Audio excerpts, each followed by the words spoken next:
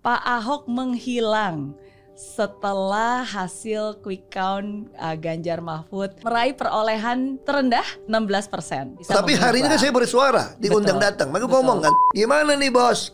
Kalah nih. Ya, Anda curangin saya pun jadi menang.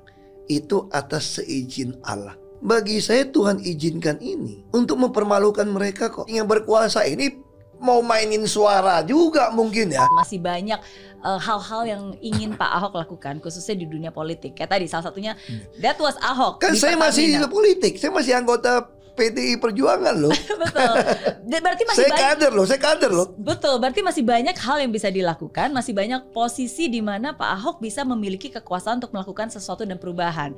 Termasuk salah satunya di DKI Jakarta. Kalau terbuka kemungkinan yang mana yang memungkinkan apakah Ahok versus Anies atau Ahok dan Anies. Karena ada satu lagi nih yang katanya mungkin bakalan masuk pilkada DKI yaitu Mas Kaisang. Katanya itu pilkada itu calonnya masih ada batas umur juga ya. Oh, Iya. mungkin nanti ada temannya atau saudara bisa ngajukan ke MK kali mungkin. mungkin ya, saya nggak tahu. MK jilid 2 dong. Apa yang ingin Pak Ahok sampaikan kepada Pak Jokowi? Saya kira udah susah ya kalau orang mempunyai persepsi yang berbeda. ya. I was Ahok, now I am still Ahok.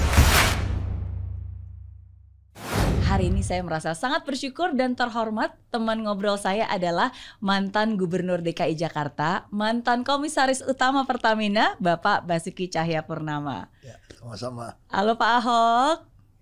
Baik, gimana kabar? Baik. Pak Ahok apa kabar?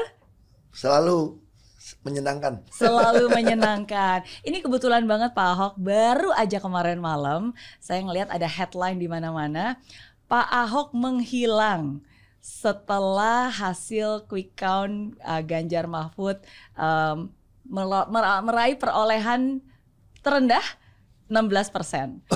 Gitu terus Oh, ada gitu ya? iya terus udah gitu mereka ngecek sosial medianya Pak Ahok. Dia bilang soalnya terakhir kali posting tuh pas lagi pemilu 14 Februari abis itu nggak ada kabar sama sekali. Oh gitu. gitu. Nah sekarang mumpung hadir di sini saya pengen tanya nih ini memang sengaja menghilang atau memang benar-benar sibuk? Bukan, saya sih sibuk ya, sibuk olahraga sekarang ya. sibuk belajar ya. oke Saya kira saat ini bukan itu yang penting untuk ribut gitu loh. hmm. Saya udah pernah mengalami namanya kekalahan di dalam pilkada itu Hmm. dengan asumsi ada ketidakwajaran itu Hmm. sudah sejak dari tahun 2007 di Bangka Belitung Hmm. Sampai semua tahu yang peristiwa di Jakarta 2017. iya Nah bahkan waktu saya ikut pilkada, dulu namanya pilkada, pilkada lah saya, Iya. pilkada langsung gitu ya. 2005 di Belitung Timur sebagai bupati itu saya menang, tapi itu pun saya betul mengalami bagaimana oknum-oknum yang bertindak itu menghilangkan hak pilih orang. Hmm. Jadi saya sangat familiar dengan peristiwa ada teriak kekurangan segala macam. Misalnya contoh dulu gitu ya. Jadi itu dulu ada lembaga survei saya nggak usah sebut namanya lah pasang di harian Kompas gitu besar Hmm. mampu memenangkan pilkada Hmm. dengan track record udah berapa belas bupati wali kota gubernur yang dia menangkan. iya Lalu apa yang mereka lakukan sebetulnya? Memang pemenangan dengan segala cara. Hmm. Dan saya sampai waktu Bangka Belitung saya sengaja bawa ke MA waktu itu bukan MK iya supaya yang saya bicarakan itu bukan fitnah tapi adalah bukti-bukti. iya Misalnya contoh gini dulu di survei misalnya di kampung ini wilayah dapil TPS ini iya yang banyak mau pilih Ahok. iya Lalu oknum si RT RW atau di kecamatan atau di kelurahan menahan surat undangan. Hmm. Karena zaman itu kalau tanpa surat undangan walaupun kamu ada di dalam daftar, dia bisa pilih. Hmm. Nah itu saya perbaiki sebagai anggota Komisi 2 DPR RI. Hmm. Saya minta perbaiki itu. Iya. Nggak boleh. Lalu kalau kampungnya sudah terlanjur dibagikan, tetap pilih saya. Itu apa dilakukan? Itu kertas suaranya dikurangin, anggap dipinjem TPS yang lain oke oleh panitia yang oknum gitu loh. iya iya Lalu ketika orang udah mendaftar, harusnya kalau sampai jam 1 tutup, kata suara di pinggiran udah selesai ngitung, datang jam 3 juga masih boleh pakai dong. Hmm. Mereka bilang nggak bisa, nggak boleh pilih lagi. Hmm. Berarti kan nutupnya jam satu kan orang udah daftar kan. Hmm. Nah itu banyak pola lah. Saya kalau cerita itu bisa berjam-jam. Tapi kenapa saya bilang? Saya bilang sama teman-teman, saat ini yang paling penting dilakukan sebetulnya, tentu mereka udah lakukan hak angket. Iya. Hak angket itu bagi saya sudah, ini bukan soal mau menangin siapa yang menang. Hmm. Saya waktu di telepon, waktu saya kalah, waktu di, coba lihat, waktu di DKI, Hmm. saya begitu quick con rear con saja. Saya sudah mau keluar ucapin selamat kok. Hmm. tim nggak mau kasih nih. Saya majukan ke waktu di DKI saya majukan ke MK nggak? Enggak. Enggak. Kenapa? Ya sudah, ini kan sesuatu yang sangat sumir. Iya. Ketika kita mengatakan ini ayat mayat segala macam ada bukti, tapi kan di dalam undang-undang pilkada kita ada pemilu. Kalau yang melakukan bukan tim sukses, itu tidak pelanggaran loh. Oh gitu. Nah, jadi ini ada celah hukum. Nah, jadi di sinilah Jadi kalau yang melakukan saya bukan saya khusus, pengalaman apa-apa. sekali dengan trik-trik permainan seperti ini. Oke. Misalnya contoh gitu ya, saya kan tidak masuk dalam daftar sebagai tim kampanye nih. Iya. Lalu saya mau kasih uang, mau kasih apa pun, mau mau kampanye sara, kalau ada tuntut itu bukan bagian dari. Hmm. Nah ini nih konyolnya nih. Hmm. Makanya si calon yang bersangkutan, itu saya nggak nggak ada nyuruh kok, tapi dia memanfaatkan keuntungan dari itu. Iya. Nah Iya. makanya bagi saya waktu saya di Bangka Belitung juga sama. Itu yang namanya tim sukses yang LSI, RSI apa itu gitu ya lembaga Iya, survei iya, itu Iya. Dia bentuk semacam LSM untuk si calon gubernur Hmm. dan kepala KPUD yang di kabupaten apa itu juga adalah ketua. Jadi si calon gubernurnya ketua LSM provinsi Iya. yang KPU-nya itu ketua KPU apa ketua kabupaten. Iya. Lalu di masa tenang dia bagiin duit, bagiin alat pisau potong karet. Hmm. Terus kata Bawaslu itu tidak pelanggaran. Karena kan dia statusnya sebagai ketua LSM, Iya. bukan sebagai cagup. Hmm. This is funny. Banyak Tapi kan loophole, karena ya. seluruh sistem, bukan Iya. kalau seluruh sistem sudah bela dia. Iya. Saya ke pasar ikan saja, bukan di hari kampanye saya, bukan di titik kampanye saya disemprit dari Bawaslu. Hmm. Nggak boleh. Hmm. Jadi tidak fair seperti itu sudah ada. Nah, Iya. lalu itu kalah saya sengaja bawa ke MA waktu itu untuk membuktikan bahwa ada permen ini. Tujuan saya supaya di DPR RI itu diperbaiki Iya. loophole ini. Iya. Nah, tapi sayangnya saya cerita nih asus DPR RI ini apa. Saya jadi masuk DPR RI untuk itu. Hmm. Saya langsung pilih komisi 2 Hmm. yang membawai membidangin KPU, Bawaslu. Saya sengaja masuk situ tuh. Hmm. Dan masuk pemerintahan semua saya masuk. Undang-undang, saya masuk ke balik juga badan Iya. legislasi Iya. untuk memperbaiki undang-undang pilkada nih. Nah, saya mau cerita itu kenapa? Bagi saya saat ini itu lebih penting. Saya bicara sama teman-teman, saya kan bukan anggota DPR. Hmm. Saya juga bukan orang mesti turun ke jalanan. Bagi saya juga sesuatu yang bisa mengganggu ekonomi, Hmm. mengganggu lalu lintas. Iya. Tapi perlu disuarakan, Iya. tapi jangan bikin macet. Jadi kita harus mengandalkan anggota DPR.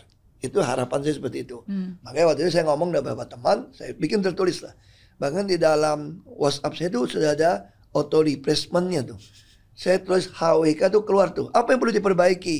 Nah itu saya sebut. Tapi sebelum saya ini saya sampai ke masalah ini dulu.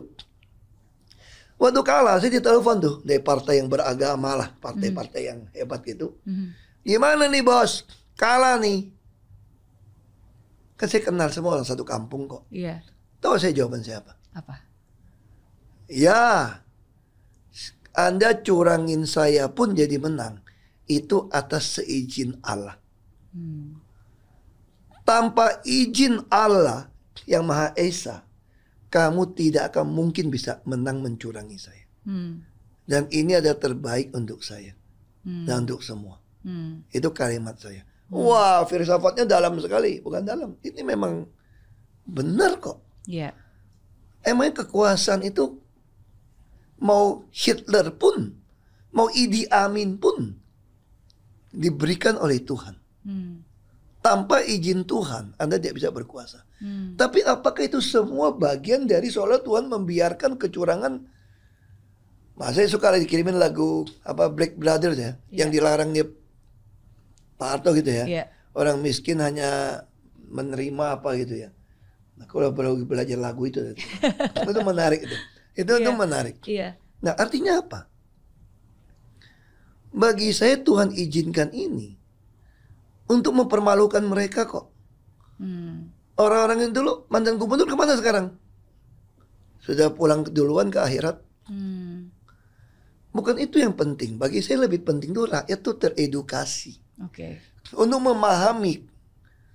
Jangan sampai diperbudak terus jadi miskin. Iya. Ini kan infrastruktur miskinnya. Iya. Nah itu yang nah, tanya lagi kenapa? Apa yang harus kita lakukan di DPR?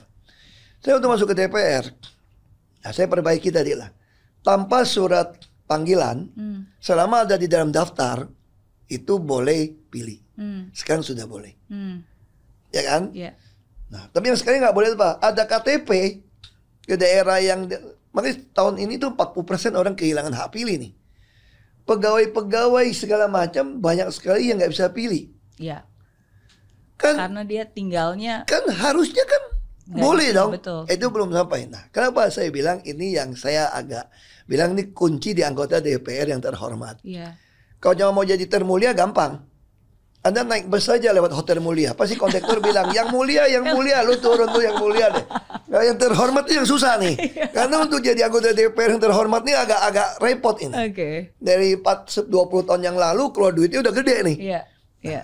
Saya kebetulan dikirim oleh partai. Ini partai Golkar ini. Saya Golkar di DPR RI. Iya. Negara bagian Victoria di Melbourne itu mengadakan pemilu. Negara bagian. Hmm. Lalu ada undang sesama kerjasama partai Hmm. untuk dikirim ke sana. Jadi observer. Observer lah. Hmm.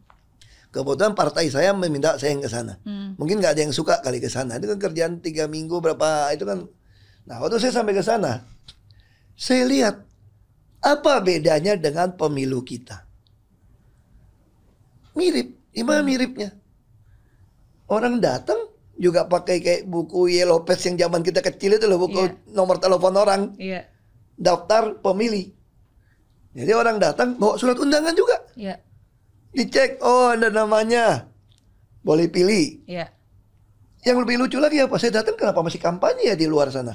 Pakai-pakai Oh, Banner. boleh kampanye, tidak ada masa tenang. Iya. Kalau di Indonesia masa tenang justru tidak tenang kan? Iya. Ada serangan yang macam-macam. Mesti dijaga-jaga nih. Iya, Ada yang nggak iya. dapat suara, nggak apa ini. ini.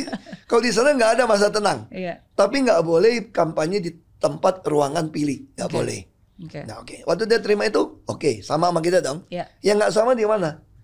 Ada yang datang nggak bawa surat undangan, Iya. bawa KTP doang misalnya, Iya. ID card ya. Dia cek, eh ada nama, dia kasih, Bisa. Boleh Oke. pilih kan ada namanya nih. Iya. Tapi dicatat, Iya. kenapa dia tidak terima surat undangan? Iya. Berarti yang pegang surat undangan bertanggung jawab surat undangan ini bisa diproses. Iya. Iya dong. Iya, betul. nah kalau kita nih sengaja Iya. nggak ada sanksi. Iya. Kalau manajemen baik nggak ada sanksi ya sama orang suka-suka dong. Iya. Ini manajemen tanpa sanksi ya rusak negara kalau begitu. Iya. Nah itu langsung dicek, ketahuan dong.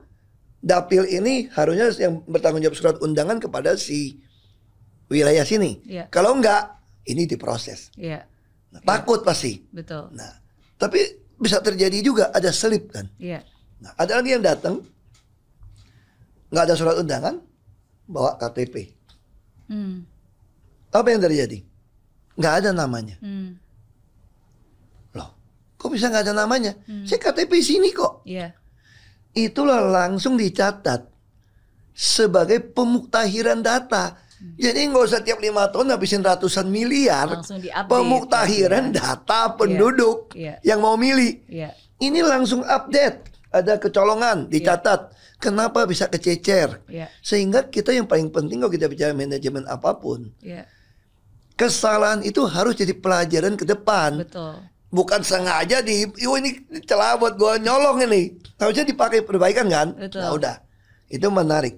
Tapi yang menarik ini di mana bedanya? Kan nggak ada nama nih, Mhm. ada KTP. Mhm. Ini KTP asli apa palsu nih? Betul. Ya dong, Betul, betul. bisa dicurigain Bisa. kan? Makanya saya duduk situ. Sampai tiga minggu saya duduk situ saya liatin. Oh pinter dia. Tetap dikasih pilih. Tapi hasil pilihannya tidak boleh masuk ke kotak suara. Oke. Masuk ke amplop khusus. Iya. Yang akan langsung dikirim ke KPU-nya. Oke. Amplop khusus. Mhm. Masuk, ada amplop khusus lah kasus seperti ini. Hmm. Nah, lagi yang datang nih. Saya nggak tahu alasannya apa pakai celana pendek sekeluarga. Saya nggak tahu ini dari orang luar nih. Hmm. Dia bilang dia dadakan ada apa ada. Saya nggak itu jelas dia dengar ya. Poin inti itu dia dadakan datang ngunjungin emaknya atau siapa. Iya. Apa pun nggak bawa. Iya. Langsung hidupin mobil nggak bawa apa pun. Iya. Dia bilang nih, kita nggak tahu benar apa enggak ya. Iya. Nggak ada identity card, apa pun nggak punya. Iya. Mau milih, Nggak bisa dong harusnya. boleh. Boleh, tetap nah, boleh. tahu nggak apa yang apa yang dilakukan tahu nggak? Ini menarik banget Apa? ini. Di foto kali. Enggak, Enggak diapain? dikasih satu form, Aha. kalau nggak salah ya, tanda tangan, membuat pernyataan bahwa dia betul penduduk negara bagian ini. Karena ada negara bagian lain toh. Iya. Iya. Negara bagian ini kayak provinsi nih. Mhm. Dan jika dia bohong, dia mengaku penipuan dipidana 2 tahun Hmm. dan denda kalau nggak salah 200 dolar. Oke. Sign. Iya. Nah, saya yakin namanya joki-joki itu kan baik joki kalau kita Iya. pilkada tuh baik joki tuh. Iya. Orang dari kabupaten lain datang. Saya tangkap banyak, saya bawa kok. Iya. Dari Bekasi mana datang untuk milih nih. Iya. Nah, kalau itu ketangkap tanda tangan pasti takut. 2 tahun sama 200 dolar. Hmm. Nah, udah sign dikasih hak pilih. Hmm. Setelah hak pilih, apa dilakukan? Masuk amplop. Yang tadi. Nah, yang menarik Oke. waktu malamnya Iya. kan nama calon juga banyak kan. Iya. Dia laporin partai mana dia jumlahin lah. Iya. Mereka waktu itu nggak ada video call, tapi sekarang ada video call ini. Iya. Si KPU-nya mengadakan rear count malam itu. Hmm. Jadi nggak ada dikirim berjenjang.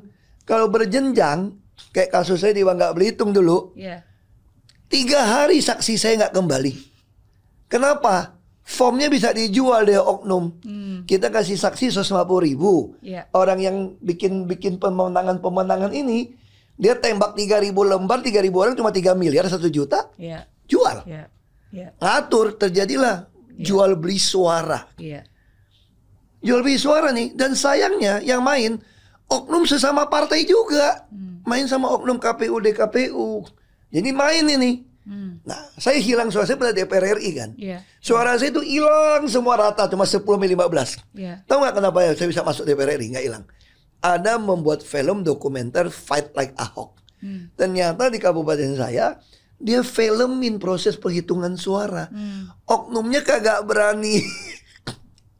kan ada bukti Terlihat. video dong. Betul, betul. Nah waktu adik saya mau jadi bupati juga saya pakai cara yang sama. Kamu bikin videoin. Eh oknum kadesnya dia pinter di form gedenya dia nggak mau tulis TPS berapa supaya blank. Iya. Dia tahu di filmin. Iya. Saya datang marahin. Terus bilang kasih apa kamu nggak boleh masuk. Eh gua anggota DPR RI ya. Lagi Oke. ninjau ya. Iya. Lo awas lo. Iya. Lo kalau nggak gue proses pidana kamu. Iya. Nah baru dia kasih masuk. Nah eh, artinya apa? Setelah kejadian itu malamnya langsung saya tahu dia laporin pakai telepon. Iya. Ada saksi di sana. Iya. Ya nggak ada lagi kirim ke jenjang jenjang jenjang bisa hilang bisa lama nih. Langsung saksi di sana juga betul nih telepon suara nih. Iya. Dia ada berapa meja lah. Iya. Itu langsung di input. Hmm. Sama-sama lihat di input. Iya. Nah tentu setelah input kalau kita masih curiga kan ini bisa ada bukti toh. Betul. Semua difoto hasilnya. Iya. Iya. Semua hasil difoto, Iya. video, lu nggak bisa main lagi tuh. Iya. Kecamatan langsung TPS semua nih. Di-upload semua. Di-upload semua hasil foto itu. Iya. Kita bisa lihat tuh semua. Iya. Nah, setelah kejadian itu, apa yang menarik? Kan masih ada yang di amplop dong, Iya. yang belum terkirim. Iya. Karena mungkin dari wilayah-wilayah kan.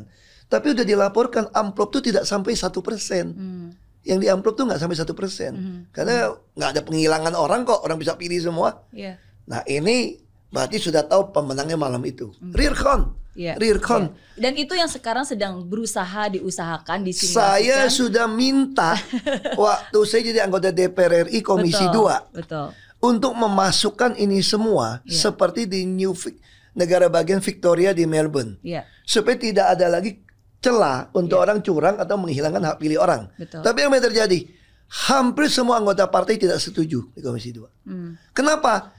Mungkin masing-masing yang berkuasa ini mau mainin suara juga mungkin ya. Mungkin ya. Iya. Ini disclaimer. Iya, iya. Karena kalau kalau nggak kan dia bisa mainin. Betul. Dia bisa piara orang punya duit. Betul. Jadi orang-orang baru mau datang bisa disikat ini. Iya. Nah itu yang saya bilang, itu yang saya selalu tulis. Yang lebih penting saat ini adalah itu. Terus yang kedua yang penting itu apa? Hmm. Saya waktu itu sampai si Ray Rangkuti bilang itu kalau berhasil namanya pasal Ahok. Hmm. Kenapa? Saya bilang mau meratakan lapangan tanding. Hmm. Bagaimana bisa orang yang korup, yang gaji kecil hartanya melimpah Hmm. dengan pilkada atau pemilu terbuka seperti saat ini, Hmm. dia punya uang bisa kasih 500 ribu, sejuta, 300 ribu, bagi-bagi sembako, Iya. lawan orang yang jujur yang pengen kerja. Ya. Karena rakyat nggak percaya siapa pun toh, Iya. udah sering dibohongin kan? Ya. Kalau udah sering nih, udah lewat lupa, lewat lupa. Lihat aja foto-foto baleho besar-besar itu semua saya bilang. Ada berapa yang cantumkan nomor HP pribadi? Gak Foto ada. cantik-cantik, ganteng-ganteng. Iya, iya, Begitu selesai iya. pemilu udah turun, nyarinya gimana bos? Padahal tiap dapil ada orang kan. Iya, Nah itu yang penting iya. satu pasal itu apa? Oke. Saya usulkan waktu itu, Mhm. Pak SBY sudah dengan gagah berani Hmm. menandatanganin di PBB Hmm. di New York ini, Hmm. kawasan New York, konvensi PBB melawan korupsi. Hmm. Jadi lalu kita di tahun 2003, Ya. lalu dibawa pulang, lalu kita meratifikasi tanda tangan konvensi PBB melawan korupsi itu Ya. menjadi Undang-Undang Nomor 7 tahun 2006. Hmm. Di situ ada prinsip illicit enrichment. Hmm. Ada penambahan kekayaan yang gelap. Hmm. Tinggal kenapa nggak dibikin sampai hari ini oleh Pak SBY Hmm. maupun oleh Pak Jokowi ya? Itu tinggal bikin PP-nya peraturan pemerintah turunan dari undang-undang itu. Iya. Jadi kira-kira gini, kalau seorang pejabat punya harta 100 miliar, pajak yang dia bayar tuh kira-kira pernah dia bayar berapa? Ya. Nah kalau dia nggak bisa buktikan itu, kan saya selalu bilang kan, kita mengkoreksi segala sesuatu yang salah, Iya. bukan menghukum. Iya, betul. Berbangsa menegak kita harus mengkoreksi. Koreksi Apa yang kita koreksi? Ya. Yang bersangkutan tidak boleh jadi pejabat publik. Hmm. Anaknya boleh nggak? Anak si koruptor ini, Ya. bagi saya boleh. Boleh, Asal boleh. dia declare, Betul. saya dapat warisan dari bapak saya yang terkenal korup. Oke. It's okay. Ya. Tergantung rakyat mau pilih atau tidak, toh. Ya. Tapi si anak ini harus kita kunci. Makanya Iya. saya bilang harusnya gaji diperbaiki. Ya. Mark up, mark up kayak dari DKI dulu. Hmm. Kenapa bisa gaji kepala lurah sampai 6-7 juta? Hmm. Di DKI itu kalau kita pulau reklamasi beres, kita bisa punya pulau OPQ jadi ganti Tanjung Priok. Ya. Semua PBB rumah nggak perlu bayar. Ya. Masa rumah saya masa saya mesti bayar pajak? Terus apa lagi ya? Semua penduduk tiap kepala keluarga Anda akan dibantu punya daya beli 5 sampai 10 juta per bulan. Ya. Kita mampu. Ya. Asal proyek di jangan mark up, Iya. jangan ada korupsi. Iya. Nah, lalu balik ke soal yang di DKI itu kan. Iya. Ta- Saya bilang kan di negara ini, kalau mau gaji pejabat semua kita naikkan. Ya. Tapi ada pembuktian terbalik tadi toh. Ya. Berdasarkan ratifikasi konvensi PBB tadi. Ya. Nah, artinya apa? Dirjen, sekjen semua gaji kayak direktur utama di BUMN oke. Hmm. Prajurit TNI, polisi pangkat paling rendah minimal 2 sampai 3 kali UMP. Hmm. Mampu kok. Hmm. Kenapa bilang nggak mampu kan? Nah, kalau udah seperti itu, ini negara itu akan jadi baik. Oke. Nah, itu yang saya bilang, kenapa kamu diam? Bagi saya sekarang saya nggak ada guna, saya nggak ada kekuasaan. Iya. Kalau saya di DPR, gua akan Iya. teriak nih. Iya. Ini aja saya nggak tahu nih hak angket ini. Iya. Saya bukan menuduh ya. Iya. Kalau oknum-oknum yang tidak terpilih lagi nih, Iya. ini tinggal berapa bulan nih, Iya. hak angket, dia kalau ditembak duit misalnya, Iya. misalnya, Hmm. ini oknum ya, saya nggak tahu, goyang nggak kira-kira? Hmm. Misal saya sudah tidak terpilih lagi, Iya. Iya. Oktober akan selesai. Iya. Tiba-tiba ada oknum yang kasih gua berapa puluh miliar supaya gua nggak usah ikut. Iya. Mungkin saya ambil mungkin ya. Nah ini kita nggak tahu. Oke. Baik kita tunggu aja kita lihat. Kira-kira gitulah. bagi Oke. saya diamnya nggak ada guna sekarang. Berarti Pak Ahok ini bukan meng- bu- bukan menghilang tapi memang diam karena Pak Ahok merasa ya apa gunanya bersuara karena kan tidak punya posisi untuk Kekuasaan. bisa kekuasaan untuk bisa Tapi hari ini kan saya bersuara, diundang Betul. datang. Maka Betul. ngomong kan. Betul. Jadi betul. bagi saya itu Ahok bukan hilang. Iya. Justru dengan Ahok memutuskan untuk keluar dari Pertamina, Iya. itu membuat Ahok itu eksis. Hmm. Orang marahin saya, lu kenapa lu gila keluar segala macam. Iya. Kalau saya terus di dalam ikutin yang terjadi, Iya. I was Ahok. Now I am still Ahok. Wow. Hmm. Karena Itu itu penting itu loh. iya. Ini penting bagi saya. Kalau saya mau hilang, memang saya bisa dihilangkan pelan-pelan kok. Iya dong? Iya, bisa jadi dirut, komut dirut, jadi menteri. Enak. Tapi saya nggak bisa ngomong lagi. Iya. I'm part of them. Dan sedangkan menjadi part of them itu bukan pilihan yang Saya Benar. saya mistik. Hmm. Teman-teman dekat saya telepon saya. Lu dikasih kehormatan, dikasih kekayaan. Kok tidak mau? Hmm. Nah saya membuat keputusan. Mungkin banyak orang suka salah paham dengan saya. Anggap saya buat putusan sembarangan. Saya bilang jadi manusia yang paling penting. Never regret what you already made the decision. Hmm. Hmm. Bagaimana supaya saya tidak pernah menyesali keputusan saya? Karena kalau nasihat orang tuh bisa begitu. Kayaknya wise, bijak. Belum tentu bijak loh. Iya. Nah, Karena kan konteks orang Nah. berbeda-beda. Hmm. orang kan nggak tahu real kamu Iya. yang hadapin apa tau. Betul. Nah, bagi bagi saya, saya selalu membaca Alkitab saya dari kejadian sampai Wahyu setiap hari. Bukan saya cup-cupan halaman, Hmm. saya ikutin. Hmm. Kenapa? Karena dari situ saya mendapatkan iluminasi dari firman Tuhan Hmm. yang menghibur saya, yang menguatkan saya, yang membuat saya membuat keputusan. Hmm. Misal contoh, kenapa waktu ditawar gitu saya bilang enggak. Pas waktu itu saya baca bilangan. Mungkin orang Kristen sangat familiar dengan cerita. Ini maksudnya pas lagi ditawarin. Ya, lain ngomong, kenapa? Kan kita kayak ujian kan? Iya, iya. Kenapa saya butuh belajar untuk hadapin ujian? Saya kira kata semua anak sekolah juga, kalau ujian matematik masa belajar bahasa Inggris? Iya. Nggak mungkin kan? Kan Betul. kita mesti prepare dong, Betul. persiapan. Betul. Hidup ini tuh kayak ujian loh. Iya. Kalau kuliah mungkin cuma 10 mata kuliah, 11, 12. Hmm. Kita tahu nih mau ujian apa. Terus sekaligus juga gue siapin belajar 12. Hmm. Tapi hidup ini mungkin ratusan jutaan ujian. Kita Iya. nggak tahu Iya. berapa pertanyaannya Iya. yang kita hadapin. Iya. Kok kamu nggak belajar? Iya. Nah bagi saya menghadapi ujian hidup yang paling penting, saya harus belajar. Iya. Belajar buat manusia, kalau kita beli gadget ya, kalau Anda mau pakai secara full, Anda mesti pakai manual booknya dong. Betul. Supaya Anda mengerti loh. Betul. Kayak kalkulator zaman dulu gitu loh. Betul. Kalau mau pakai manusia secara agak full optimum, ya baca kitab suci. Iya. Karena ini manual book yang pencipta nih. Betul. Made in-nya manufacture-nya itu kan. Betul. Nah, waktu saya baca itu, hari itu menarik. Itu dibilang itu kisah Biliam. Mungkin orang tahu lah, Biliam itu nabi palsu yang diminta oleh Raja Balak mengutuki bangsa Israel yang keluar dari Mesir. Hmm. Lalu si Balak menjanjikan rumah, janjikan apa. Si Biliam ini mau terus peringatin Tuhan itu cerita yang panjang. Tapi waktu itu satu kalimat yang menarik. Hmm. Ternyata si Biliam nggak ngutukin, malah memberkati. Hmm. Lalu si Balak marah sama dia. Dia ngomong satu bahasa sangat menarik. Boleh bahasa Inggris, itu bahasa Indonesia kira-kira ini. Iya. Tuhanmu menghalangi kamu mendapatkan kehormatan emas dan perak. Karena si Bilam ngomong ini sama si Balak. Hmm. "Eh, saya bukan menolak kehormatan apa harta yang kamu tawarkan pada saya. Hmm. Tapi saya hanya akan mengatakan kebenaran Hmm. yang Tuhan sampaikan kepada mulut saya. Hmm. Saya tidak bisa mengatakan di luar kebenaran. Sekalipun kamu menawarkan saya rumah dan emas dan perak. Nah bagi saya itu adalah iluminasi buat saya. Hmm. Saya diingatkan Tuhan. Saya hanya boleh menyatakan apa itu kebenaran. Hmm. Apa itu keadilan. Apa itu kejujuran. Apa itu peri kemanusiaan. Iya. Jadi, nah itu saya putuskan. Lalu orang tanya, kenapa kamu berhenti? Iya. Nah ini juga sama. Padahal kan di Pertamina bonusnya Nah, bisa staff- 30 M Staffnya katanya. semua pada Hmm. pada kalau teman saya, staff saya sih udah tahu nih Sakti dapat pasti dapat sesuatu ya Pak ya.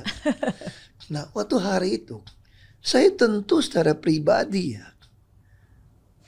Toh orang juga anggap Pak Jokowi teman saya dikasih kerjaan banyak segala macam bisa jadi menteri semua. Ibu Mega juga sangat baik. Mhm. Minta sama saya jangan keluar dari Pertamina. Mhm. Anak-anakmu masih kecil. Hmm. Terus kalau politik kamu nggak usah terlalu campur lah. Hmm. Biar saya saja yang sudah tua kata Ibu Mega. Pokoknya ah, Pak Ahok nggak usah. Mhm. Saya juga dari buntung begitu masuk Pertamina dia bilang bisa rugi satu miliar dolar sampai bisa untung 4 miliar dolar ini. Iya. Jadi dalam sejarah Pertamina nggak bisa untung itu besar. Iya. Kenapa? Karena optimalisasi biaya Hmm. yang kami lakukan selama 4 tahun itu 5 miliar lebih. Iya. Nah saya keluar kepala chief auditor eksekutif, nah Pak Agus Mardiatno itu orang bagus, dia juga keluar. Iya. Karena bagi dia prinsipnya kalau kepala sudah tidak berani, kan anak buah berani firm kalau bahasa Lao Tse apa Confucius. Kalau kepala lurus, bawahnya itu tidak berani, tidak lurus. Hmm.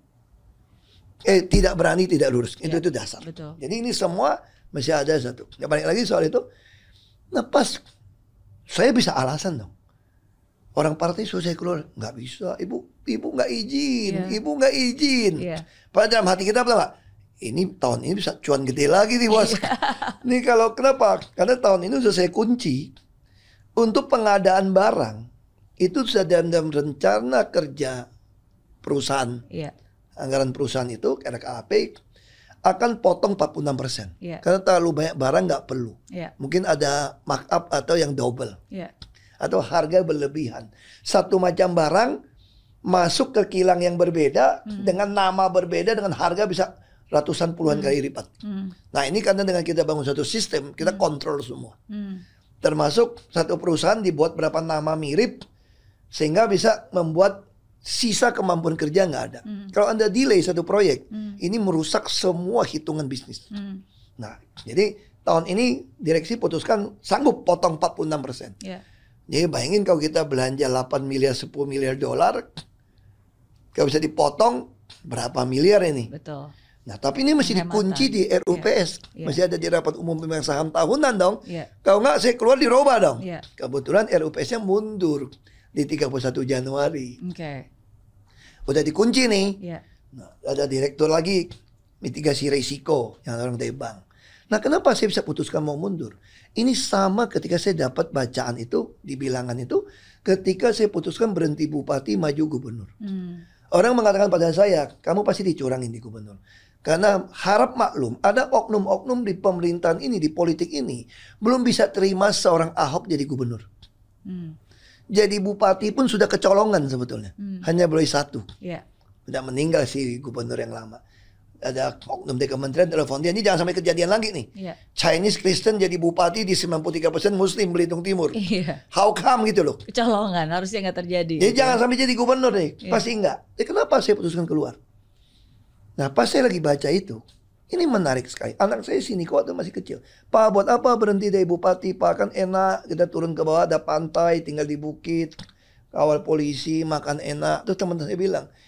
Lu kau punya rencana besar Hok. Kayak pesawat terbang besar. Itu butuh landasan yang panjang. Hmm. Lu jadi bupati dulu 10 tahun. Baru jadi gubernur. Hmm. Saya masih jadi bupati satu tahun udah beres jaminan pendidikan, kesehatan, perumahan semua gue kerjain. Hmm. Saya pengen ada pensiun buat rakyat. Karena orang miskin itu saya bilang kalau dia punya 5 ribu sehari, Hmm. dia punya kehidupan sosial minum-minum kopi di warung-warung. Nah saya cuma pengen dapat 150 ribu untuk orang tua yang miskin. Hmm. Yang anaknya juga miskin. Hmm. Tapi saya nggak cukup. Saya masih minta gubernur bikin. Hmm. Karena dari aktual yang hitung-hitung insurans mesti satu juta lebih orang. Iya. Iya. Lo gubernur yang lama, eh bupati pintar ya? Kalau pintar, berhenti dulu harus berhenti jadi Iya, bupati iya. untuk nyalon gubernur. Iya. Kalau untuk naik harus berhenti. Berhenti lo berani nggak lawan saya jadi gubernur? Iya. Wah saya juga takut kan. Tapi waktu saya bergumul, apa betul? Nah, saya minta tanda Tuhan. Akhirnya Gus Dur dukung saya. Saya nggak ada duit kok. Kok partai dukung gimana? Gus Dur begitu saya ceritain mau kasih pensiun tuh rakyat provinsi pertama. Hmm. Gus Dur bilang saya nggak pernah dengar deh kepala daerah ngomong begitu. Iya. Saya mau dukung kamu. Terus ada lagi PPR, ada Pak Bursa Jayan Lubi. Saya nggak pernah dengar ada orang mau jadi gubernur pengen tujuannya dapat pensiun rakyat. Iya. Nah ini dukung nih. Iya. Yang menarik, waktu saya sampai bicara begitu, pasti dikasih tahu teman saya yang intel, lu pasti nggak jadi. Pasti segala cara akan dilakukan, Hmm. dicurangin. Iya. Karena model kamu nggak boleh naik. Iya. Kalau kamu naik satu provinsi kamu lakukan seperti itu, Hok. Seluruh daerah provinsi akan nuntut yang sama. Hmm. Ini jadi Israel itu nggak? Kau nggak ada Ahok di Republik ini kan aman tenteram. Kenapa masih ada Ahok yang kasih model standar gitu tinggi untuk kerja? Iya, iya. Kalau nggak ada Ahok kan orang nggak tahu. Pejabat mau 24 jam, mau nungguin terima orang, mau balas WA orang, orang lapor apa mau datang. Iya. Diurusin semua sampai bunting sampai meninggal diurusin. Merusak pasar nih berarti Pak Ini kan ya. karena rakyat kan dipaksa. Iya. Anda tidak punya pilihan. Iya, Anda mau apa? iya, Kami yang berkuasa. iya. Anda mau apa? Nah, Iya. ini yang menarik. Tapi kenapa saya keluar? Pas hari itu saya lagi baca. Ini sama lah. Saya ulang, eh, saya baca ulang tiap tahun kan. Iya. Saya, iya ya, ini saya pernah dapat waktu putusan di Bupati Belitung. Hmm. Itu dibilangnya begini. Jadi waktu umat Israel keluar dari Mesir, Tuhan bilang, yang akan menuntun kalian jalan itu adalah tiang api dan tiang awan. Hmm. Pada waktu malam tiang api, waktu siang itu tiang awan. Iya, Kalau tiang api, tiang awan itu bergerak, kalian bergerak. Kalau dia berhenti, kalian berhenti. iya. Itu patokannya Tuhan. Iya. Nah, tuh dibilang ditulis, ada kalanya tiang itu baru berhenti tiga hari. Hmm. Orang pasang tenda zaman dulu kan. Hmm. Sudah berangkat lagi. Hmm. Ada yang lima hari sudah berangkat lagi. Jadi saya dapat iluminasi apa waktu baca itu? Artinya waktu saya ikut Tuhan di dunia politik ini bukan selesaikan term, tapi kapan Tuhan kasih saya petunjuk untuk keluar. Hmm. Ketika saya punya pengen tujuan tertentu, saya bisa aja bohongin orang. Saya mau jadi bupati dulu 10 tahun baik-baik. Padahal saya nggak ada kerjaan apa pun lagi. Iya, iya, iya. Karena sudah ditantang si gubernur, kalau saya nggak nantang dia jadi calon gubernur, Iya. dia yang menang, nggak mungkin. Apa kalau saya nggak ikut? Iya. Mau ada insurans kan? Iya, Makanya saya tahu ini keluar. Makanya saya minta tanda Tuhan. iya. Mana bisa kumpulin partai 0,12 lebih? Duit nggak ada. Teman saya bilang, lu kalau nggak ada 30 miliar nggak mungkin bisa. Bilang, saya nggak punya. Makanya saya minta tanda Tuhan. Iya. Kalau ini bisa, berarti itu dari Tuhan. Kalau nggak dapat, ya saya nggak mau lu Tuhan lah. Kan lu juga kok, eh, gue enak jadi bupati Iya, kok. Nah, iya. sama sama. Betul. Waktu saya baca yang sama, sama perasaan saya. Hmm. Saya selama ini ngeles. Saya ditawarin di road, terus tiap tahun disuruh sabar, sabar, sabar, sabar. Dijanjikan di ya. Saya juga udah nyaman jadi komut, walaupun dapat 45% kan lumayan. Hmm. Kalau jadi di road mungkin dapat 50-60 M ini. Hmm. Saya mau jadi di road saya pikir. Mhm. Oh saya bisa kasih keuntungan perusahaan. Iya. Karena memang ada peraturan di BUMN. Swasta juga banyak buat peraturan begitu. Iya. Kalau ada untung setelah pajak, Anda boleh bagi 1 sampai 1,3 persen Iya. untuk manajemen. Iya. Bukan buat saya sendiri, Iya. bagi rata lah. Nah kita kan untungnya kan miliar-miliar dolar ini untungnya nih. Iya. Nah itu pun saya bilang nggak boleh pakai 1,3. Iya. Kalau untung besar harus pakai yang satu. Iya. Kalau saya pakai 1,2 setengah boleh dong. Hmm. Kan nggak ada yang marahin 25% bedanya loh. Iya. Kan buat untung kita semua. Iya. Tapi saya bilang di atas aturan ada nama itu etika, ada kepatutan. Hmm. Anda udah untung gitu besar harus satu persen. Hmm. Ini kepatutan. Iya. Tidak salah. Iya. Tidak di penjara kok. Saya bisa bikin 1,25, 1,3 juga nggak di penjara. Iya. Tapi secara kepatutan dan etika Iya. itu tambah 30 persen. Iya. Nggak boleh. Iya. Nah, balik lagi soal. Nah saya dapat ayat yang sama. Saya juga ngeliat nggak mau keluar nih.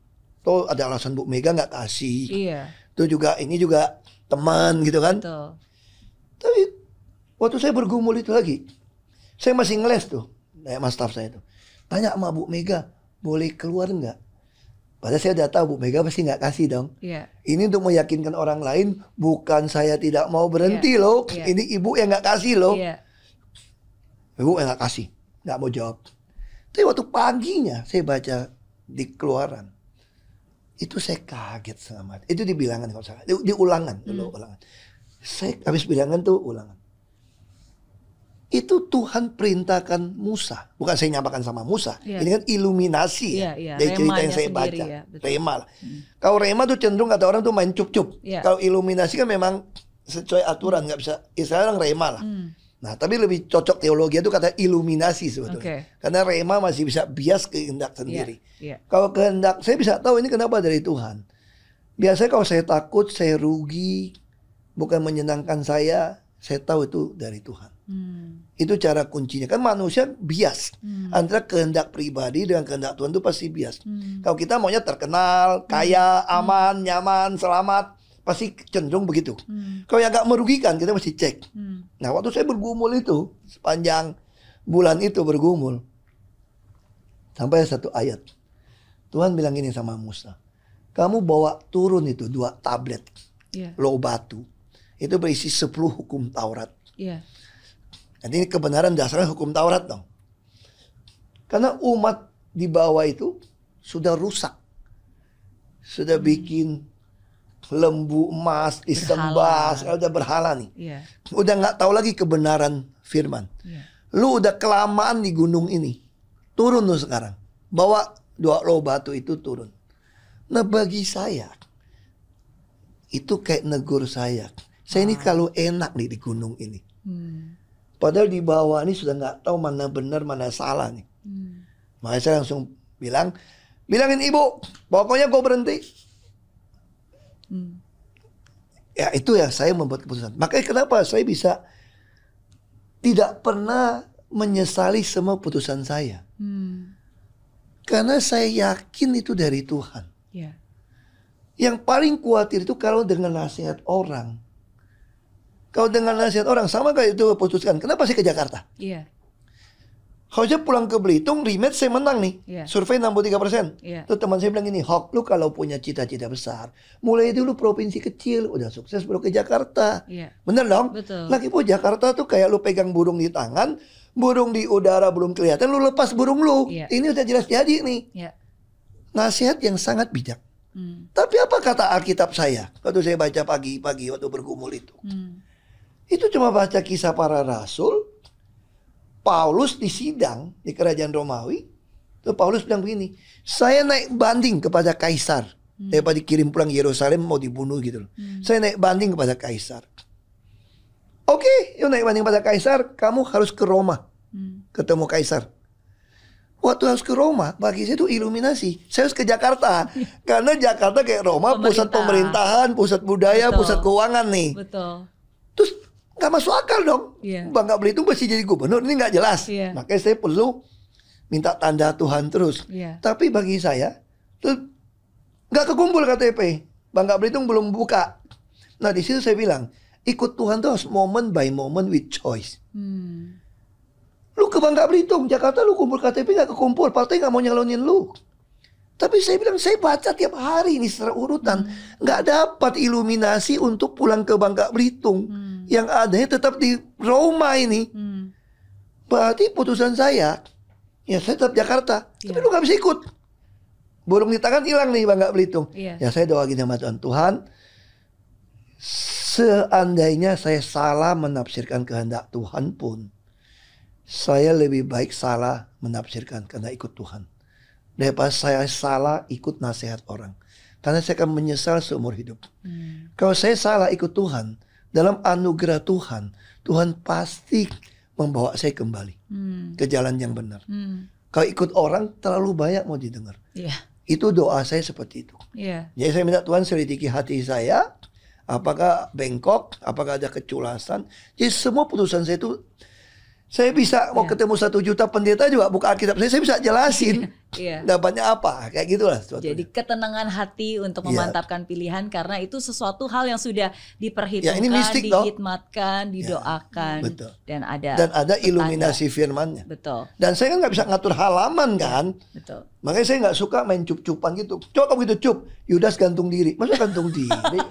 eh, nggak lucu dong. Sebagai interpretasi kita Ya. cuma ngambil se- sepenggal dan tanpa mengerti dan melihat konteksnya secara Ya. utuh ya. Itu Tadi pagi saya salah. dapat yang sangat menarik apa? tentang konteks membaca kitab suci. Hmm. Ada beberapa orang menafsirkan begini. Tadi pagi saya dapat, saya suka begitu dapat, saya senang, saya tulis. Hmm. Saya udah baca puluhan kali, tadi pagi saya dapat sesuatu, saya bilang iya ya, luar biasa ya. Hmm. Daud itu dituduh, karena dia pernah ngomong, waktu dia mau mendudukin kota uh, Jikrak yang jadi kota David akhirnya kalau nggak salah ya, kayak kota David, saya lupa kota apa. Hmm. Kota jadi kota David.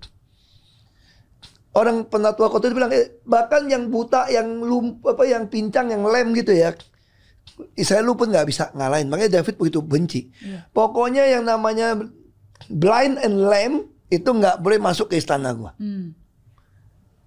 Dia orang suka mensalah nafsirkan kok si Daud kok bisa ngomong seperti itu ya, Iya. kayak diskriminatif ya. Iya, justru kota itu orang kota itu nggak boleh. Betul. Saya juga ya terima aja namanya kitab suci ya. Tapi tadi pagi saya baca saya kaget di dua Samuel itu apa? anak Jonathan, cucu Saul yang mau bunuh dia, lalu terbunuh, Daud jadi raja nih. Hmm. Dia dapat janji sumpah dengan Jonathan anak Saul. Berarti ini ada anaknya ditanya, masih ada nggak turunan Saul yang masih hidup? Karena gua mau menghargai janji gua dengan bapaknya yang Jonathan. Hmm. Oh ada namanya Boset, tapi dia lem.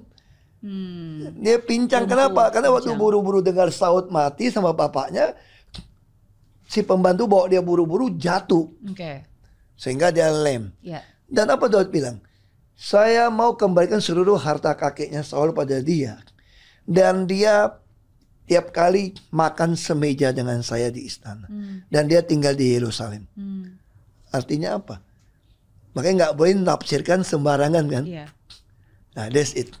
Nah, jadi kalau baca kitab suci itu saya dapat sesuatu yang sangat menarik. Iya. Termasuk misalnya contoh ya, sekarang banyak. Saya dapat satu juga menarik. Waktu kita sekolah minggu, kita suka dengar cerita gini. Yudas Iskariot tidak cinta Yesus, maka dia jual Yesus. Ya kan? Iya. Kan itu yang kita punya Atau persepsi nih. Pengkhianat, menjual Yesus. Setelah saya baca ya, uang. saya, saya baca berapa. Saya kaget. Itu gunanya kita bisa ditahan di Makobrimob banyak waktu. Ini retret terindah tuh. Hmm. Kita punya waktu banyak, nggak perlu ke kawin ke mana terus baca. Ini retret terindah. Apa saya dapat? Saya bilang hari ini terjadi banyak mungkin oknum-oknum pendeta, oknum-oknum orang Kristen yang bukan murid Yesus tapi murid Yudas Iskariot. Artinya, apa? Yudas Iskariot itu cinta Yesus. Siapa bilang dia cinta bukan cinta Yesus? Buktinya apa? Ketika dia menjual Yesus, kan dia bilang ini kan. Jadi tugas gua apa nih? Kepada imam-imam, lu tunjukin mana Yesus. Ya. Jadi kalau saya terjemahin, berarti bukan gua yang nangkap ya. Gua kagak ikat Yesus ya. Ya. Enggak enggak, lu cuma tunjukin.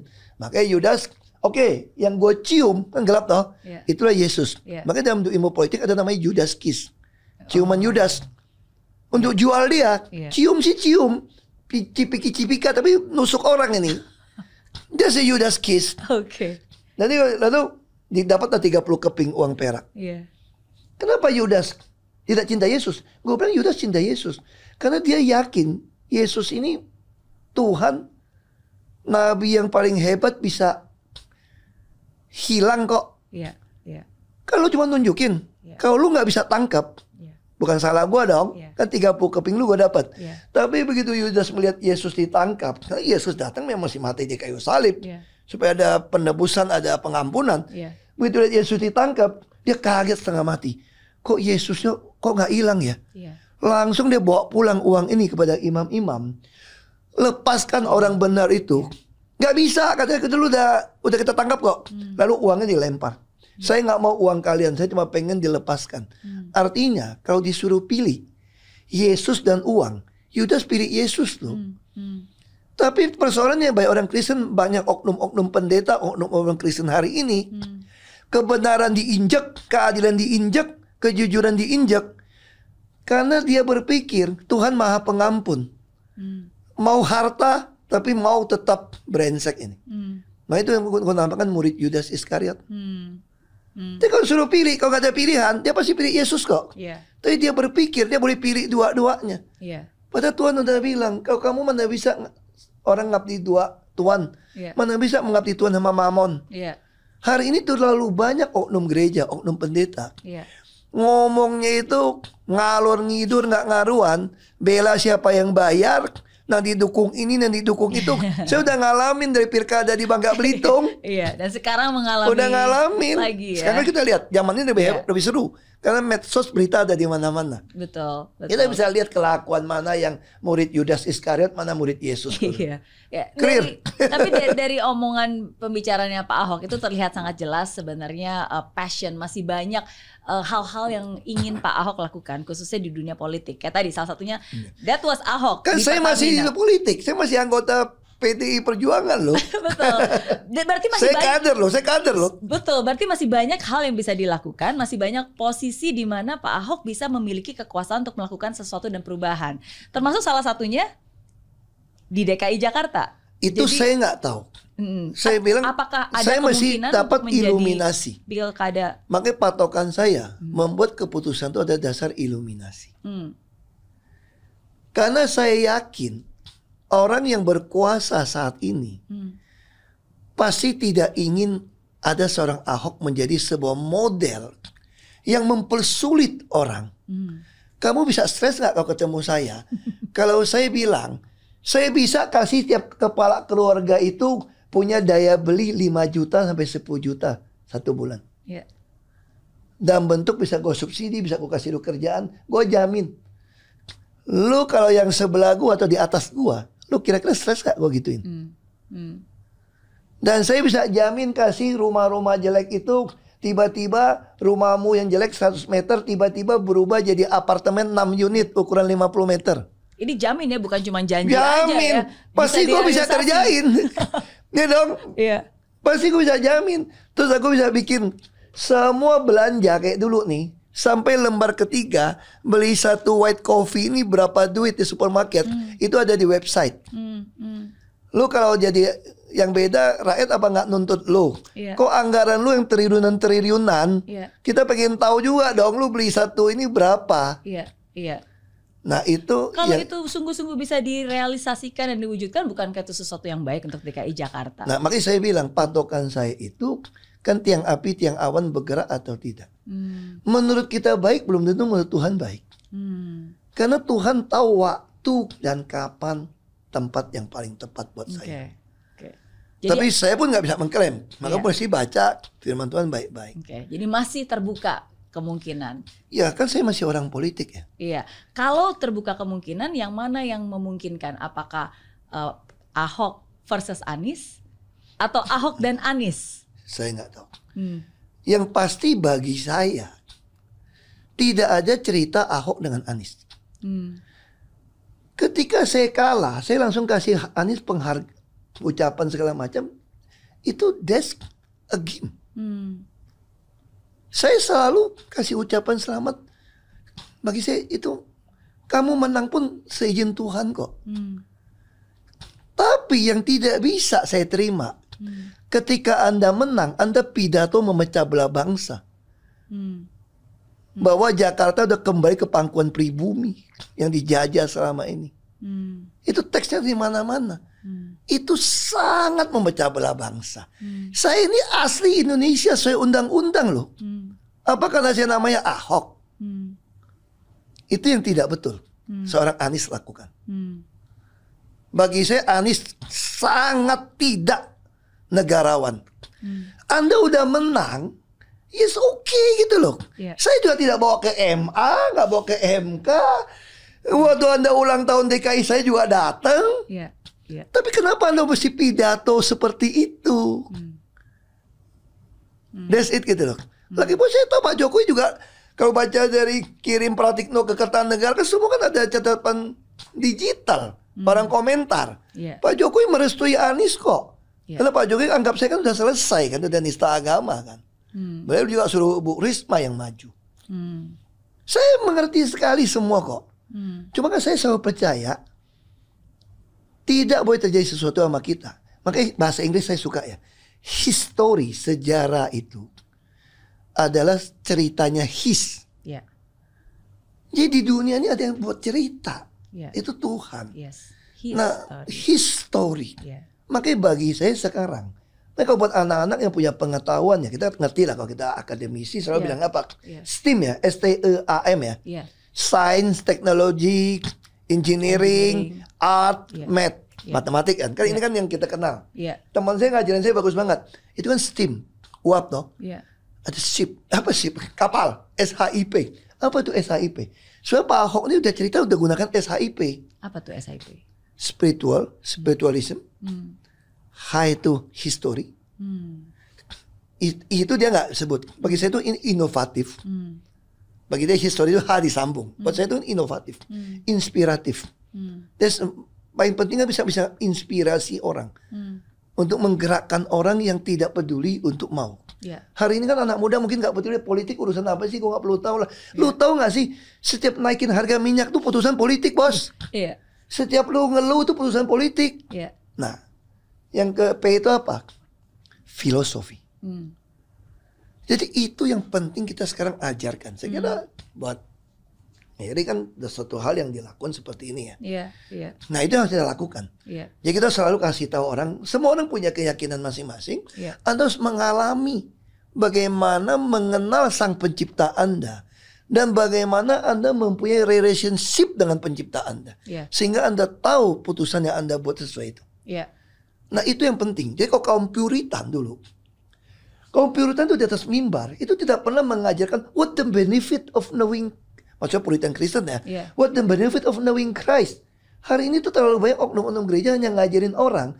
Ini loh benefitnya lo kalau jadi Kristen. Benefitnya jadi kaya lo. Jadi nggak sakit lo segala macam. iya, Itu mah ajaran terlalu rendah. iya. Tidak salah mujizat toh. Betul. Kalau kaum puritan itu mengajarkan apa? Bukan what the benefit. Who is Christ? Iya. Relationship, hubungan. How you could make personal relationship Yeah. with him. Iya, That's the important untuk mimbar. iya. Jadi mimbar itu harus mengajarkan rakyat itu. Hmm, Seorang leader juga sama. hmm, Nah makanya saya bilang, buat saya, saya tidak tahu Tuhan mau tuntun saya apa. iya, Tapi saya adalah orang yang paling bisa memanfaatkan waktu. iya.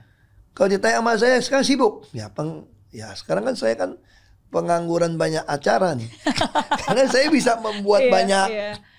ya kan? kesempatan dan Nah, saya- tempat untuk berbicara. Saya punya waktu les Mandarin, Iya, punya waktu les piano, iya, saya punya waktu les penguasaan diri, Iya. yakni main golf. Iya. Itu penguasaan diri.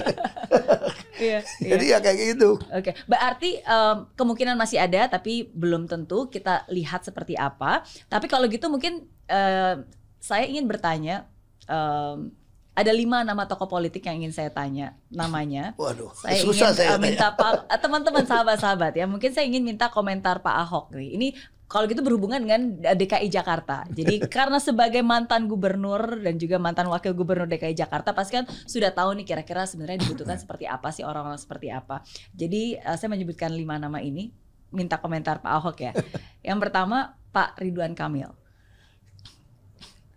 Saya tidak gitu kenal personal ya. Hmm.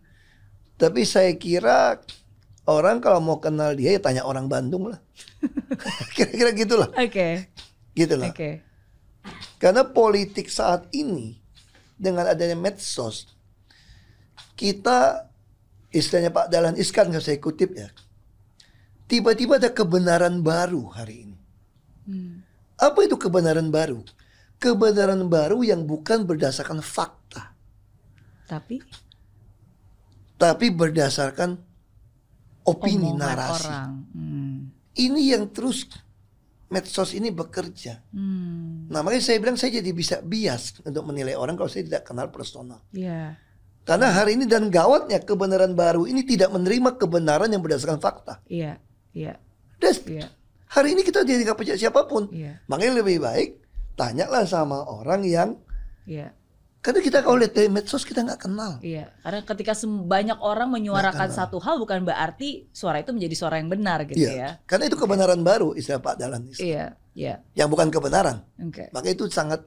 Makanya kalau saya suruh nilai orang saya sangat bingung oke. di zaman seperti ini ya. Iya, Kalau saya pernah kata ngalamin, nggak usah sebut nama, udah pernah ngalamin orang yang kalau saya nyerang dia, mengatakan dia tidak baik, itu bisa setengah orang terpecah belah.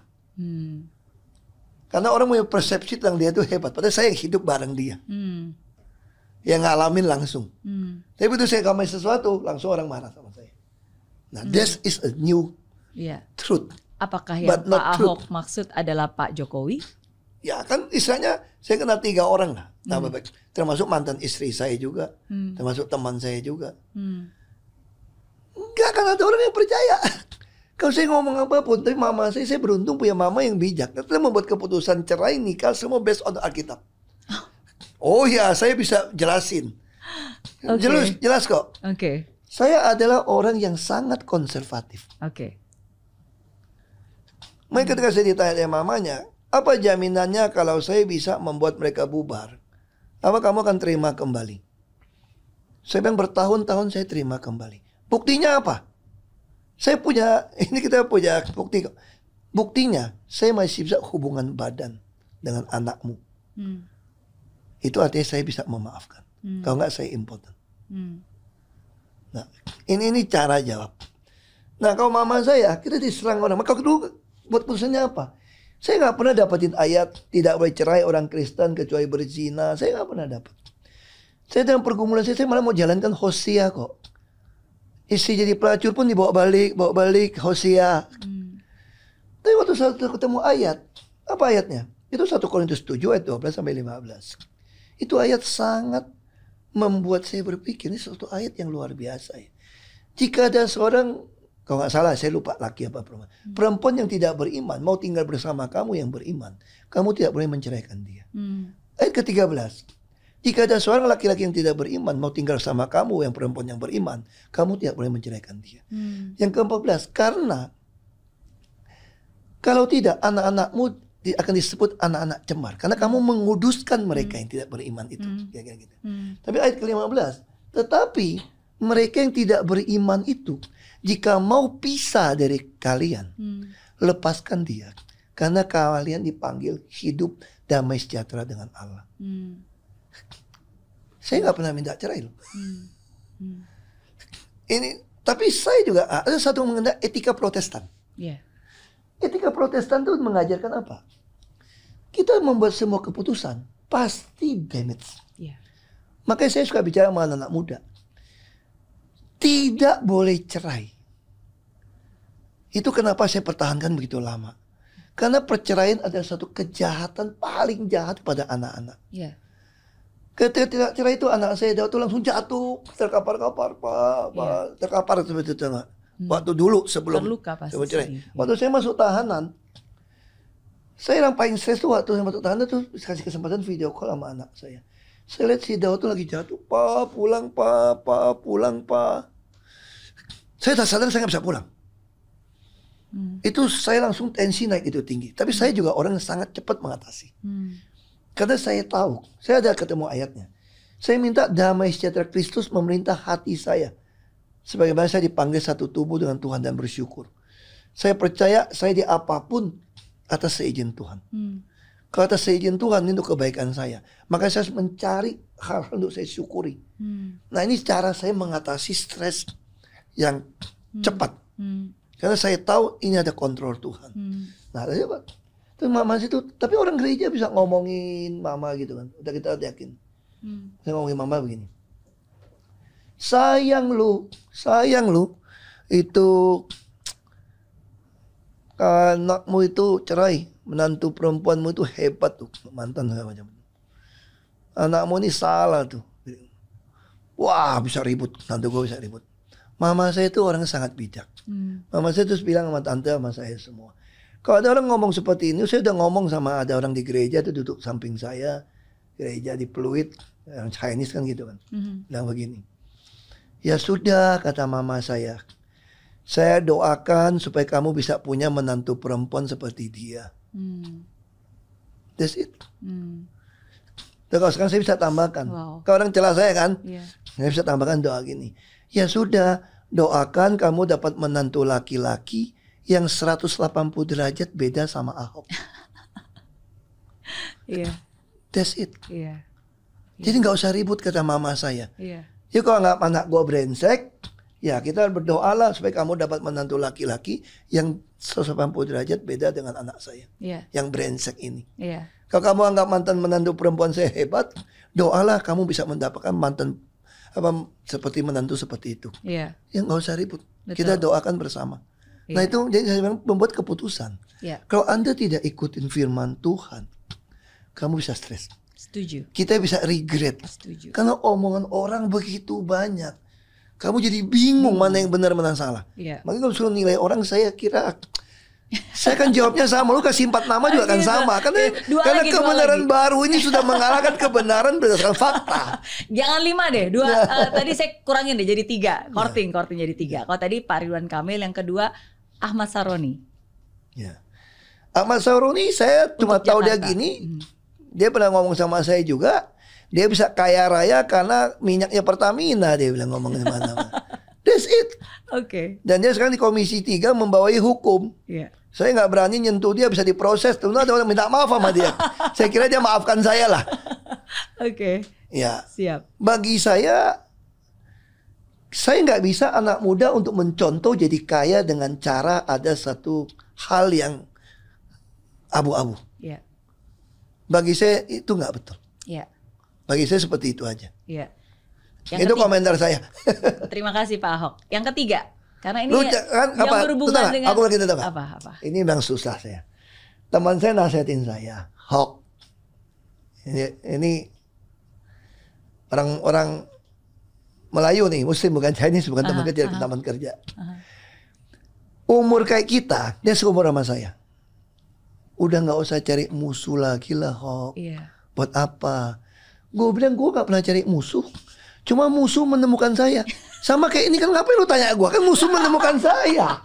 Komentar Kita memang musuh menemukan ini saya. yang, yang saya tanyakan ini Ya, saya gak cari musuh kan. berhubungan dengan DKI Jakarta. Bener kan? Bo- Saya gak cari musuh kan Nggak musuh menemukan saya kan.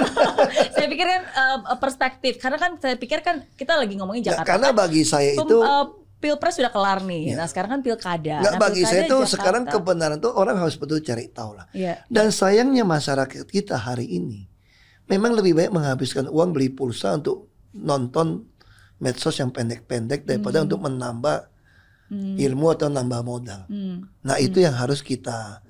Makanya saya nggak bisa tahu.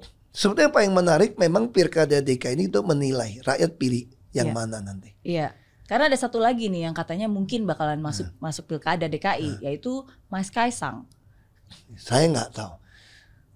Itu uh, saya tadi dikirimin orang ada guyonan. Mhm. Katanya itu pilkada itu calonnya masih ada batas umur juga ya. 28 Betul. atau berapa ya? Betul. Kalau nggak salah ya. Di bawah tiga Mau, eh, mau 30 jadi kepala daerah itu kalau saya 28 atau Iya. berapa. Saya lupa nih. Saya nggak tahu Mas Kaisang umur berapa. Kalau menurut eh, timingnya di bulan Desember baru melewati tahun batas usia. Jadi kalau sebelum itu terjadi masih belum melewati batas, batas usia. Oh, mungkin nanti ada temannya atau saudara bisa ngajukan ke MK kali mungkin. mungkin ya, saya nggak tahu. MK jilid 2 dong. Saya nggak tahu. Saya nggak tahu. Saya nggak ngomong ya, disclaimer ya. Enggak. Ini bahaya loh. Nggak, nggak. Boleh dipotong pokoknya ini ya. Ini Iya. disclaimer ya. Iya, iya. Batas umur, tapi itu mungkin banyak yang nggak tahu ya bahwa untuk menjadi pilkada DKI 28 kalau nggak salah, saya lupa. ya inti ada batas Saya umur, tahu, saya ada tahu. batas Saya lupa, umur. saya Iya, lupa. iya. Oke. Oke, udah kita tinggalkan Jakarta.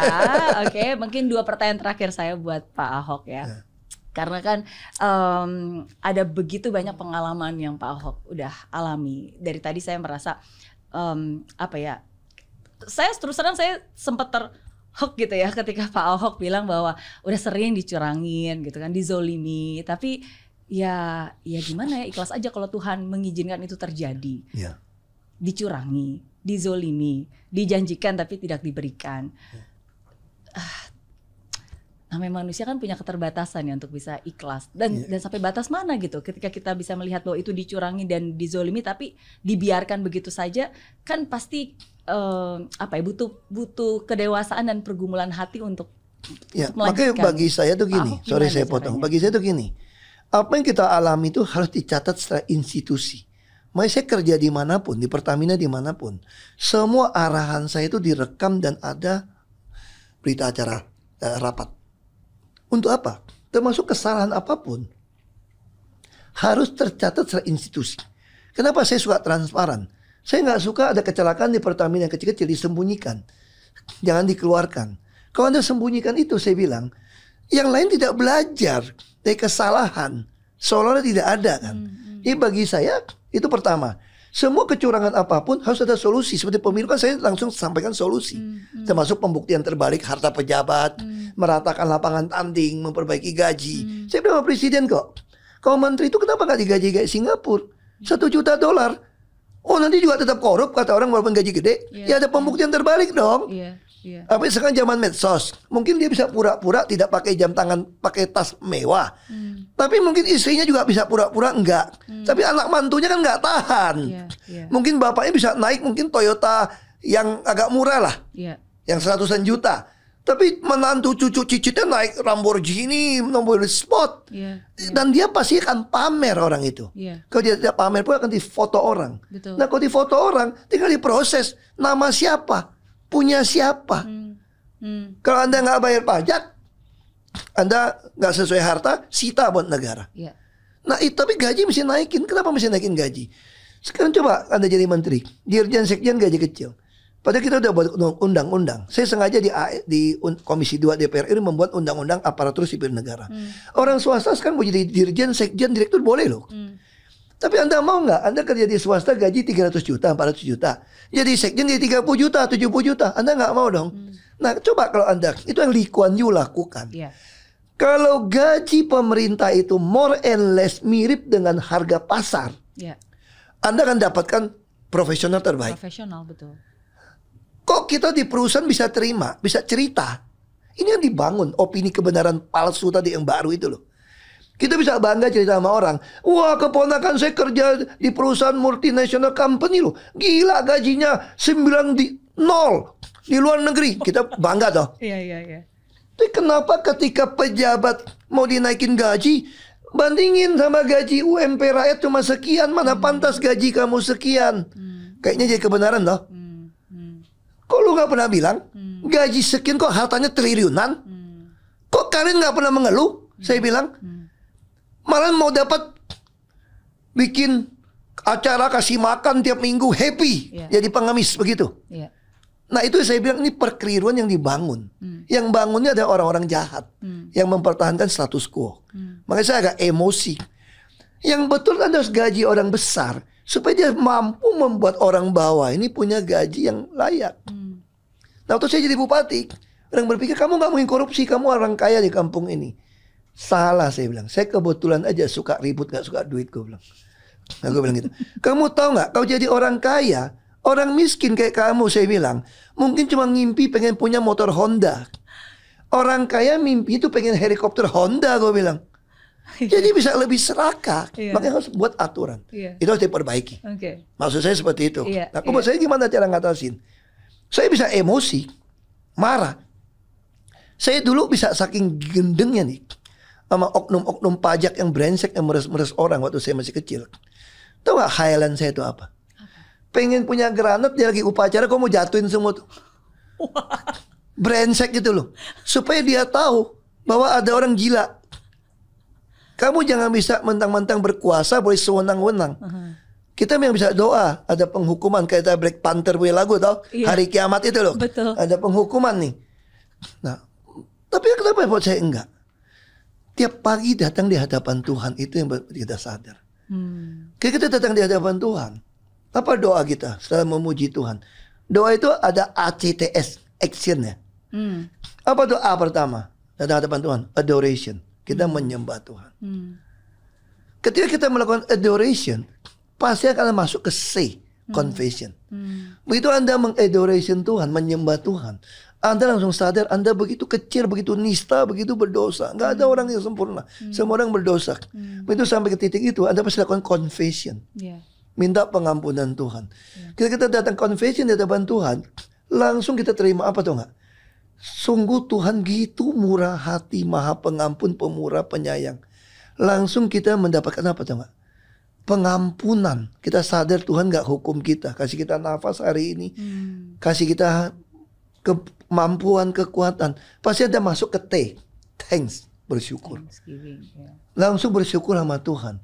Kok bisa aku yang nggak layak ini kamu kasih semua. Hmm. Nah setelah ACT Anda masuk ke S, supplication. Di situ Anda bisa naikkan doa-doa Anda. Saya bisa ngomong, Tuhan, aku marah nih Tuhan. Di PHP nih. Aku marah Tuhan. Disalahpahamin. Aku marah Tuhan. Orang ngomongin gua ngata-ngatain gua. Aku bisa ngomong, bilangin gua nikah, ninggalin anak, istri segala macem. Anak-anakku masih baik semua mereka tahu kok. Hmm. Anak gue bilang, kenapa papa mesti cepat nikah? Gue bilang, mama Popolo bilang, bukan sombong kata Popolo. Anak mama papamu ini kalau nggak langsung keluar nikah, nanti cari dua gerbong kereta api calon istri bisa cepat penuh, susah. Kalau udah ada tanda Tuhan yang seperti ini udah pilih aja udah. Toh yang penting kan istri yang mau ngurus kayak ganti mama saya urusan semua anak semua. Iya. Itu anak saya saya jelasin. Waktu saya digituin saya pertama marah. Hmm. Tapi waktu saya datang di hadapan Tuhan, saya belajar dari Daud. Ketika Daud di Absalom anaknya kudeta, dia pergi nih ninggalin istana. Dia nggak mau perang sama anaknya. Hmm. Dia kan saya sayang anaknya pergi tinggalin semua. Lalu si Sime Hmm. turunan Benjamin yang agak dendam sama dia karena turunan Saul mulai lempar-lemparin dia, maki-maki dia. Hmm. Terus pengawalnya bilang, gue bisa nyebrang sungai gue bunuh tuh orang. Hmm. Terus Daud bilang, enggak, jangan. Saya memang pantas digituin. Hmm. Karena saya bukan orang baik. Hmm. Enggak ada manusia yang tidak berdosa. Enggak ada manusia yang baik. Semua butuh pengampunan Tuhan. Hmm. Makanya saya bisa jadi Kristen. Saya butuh pengampunan Tuhan di atas kayu salib. Hmm. Saya butuh kebang kematian Tuhan. Saya butuh kebangkitan Tuhan.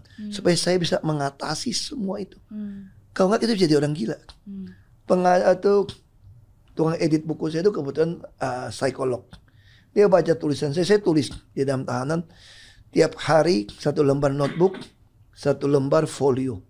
Saya tulis semua pikiran saya. Saya tulis pakai tangan supaya bisa tahu. Hmm. Dia tuh baca saya punya, dia bilang, kenapa? Dia tanya yang sama. Ada satu titik itu, saya tensi itu cuma tinggal 50, 80 atau berapa. Hmm. Ada urusan perceraian, situasi ketakan. Kok bisa bangkit? Secara teori psikolog itu harusnya bapak tuh jadi gila. Hmm. Kok bisa? Iya. Nah saya bilang, karena tiap pagi saya ngomong sama Tuhan. Hmm. Dan saya waktu baca firman Tuhan, itu yang memkomfort saya. Bahkan saya dikasih tahu satu kalimat yang menarik. Saya tulis nama anak saya Yosafat dan Sarah itu dan saya tulis dalam buku itu. Oh. Saya Tuhan kasih tahu saya. Waktu saya baca buku dia bilang gini. If somebody broke up your relationship, you nggak usah kecewa. Kalau Tuhan izinkan dia pergi, Tuhan udah menyiapkan satu orang yang more fun, more appealing to you. Hmm. Satu pintu Tuhan tutup, Tuhan udah sediakan pintu yang lain. Kadang-kadang kita tuh tidak lihat, kan kita tutup dengan emosi kemarahan. Saya emosional orangnya. Makanya saya bersyukur sekali masuk ke Makobrimob. Saya jadi belajar. Misalnya contoh gini ya. Saya jadi memahami ketika saya baca ketika anak Nabi Sulaiman menggantikan dia jadi raja. Lalu datang rakyat. Saya belajar banyak di dalam kitab suci. Hmm. Datang pada dia. Kami mau minta kurangin pajak. Oke oke, lu datang tiga hari lagi kira-kira gitu. Hmm. Lalu dia tanya sama penasihat bapaknya. Hmm. Apa yang mesti gue lakuin pada orang ini? Iya. Kemudian dia tidak dengerin, dia dengerin nasihat teman-temannya. Iya. Lu sikat aja. Tapi apa nasihat teman bapaknya itu? Itu kalau mau rakyat loyal sama kamu. Pertama, serve them, Iya. answer them. Saya lakukan serve. Layani. Saya juga answer mereka. semua WA lu duduk depan. Mana ada? Hmm. Mohon maaf gitu ya. Anis mana mau tungguin orang untuk terima Hmm. keluhan. Hmm.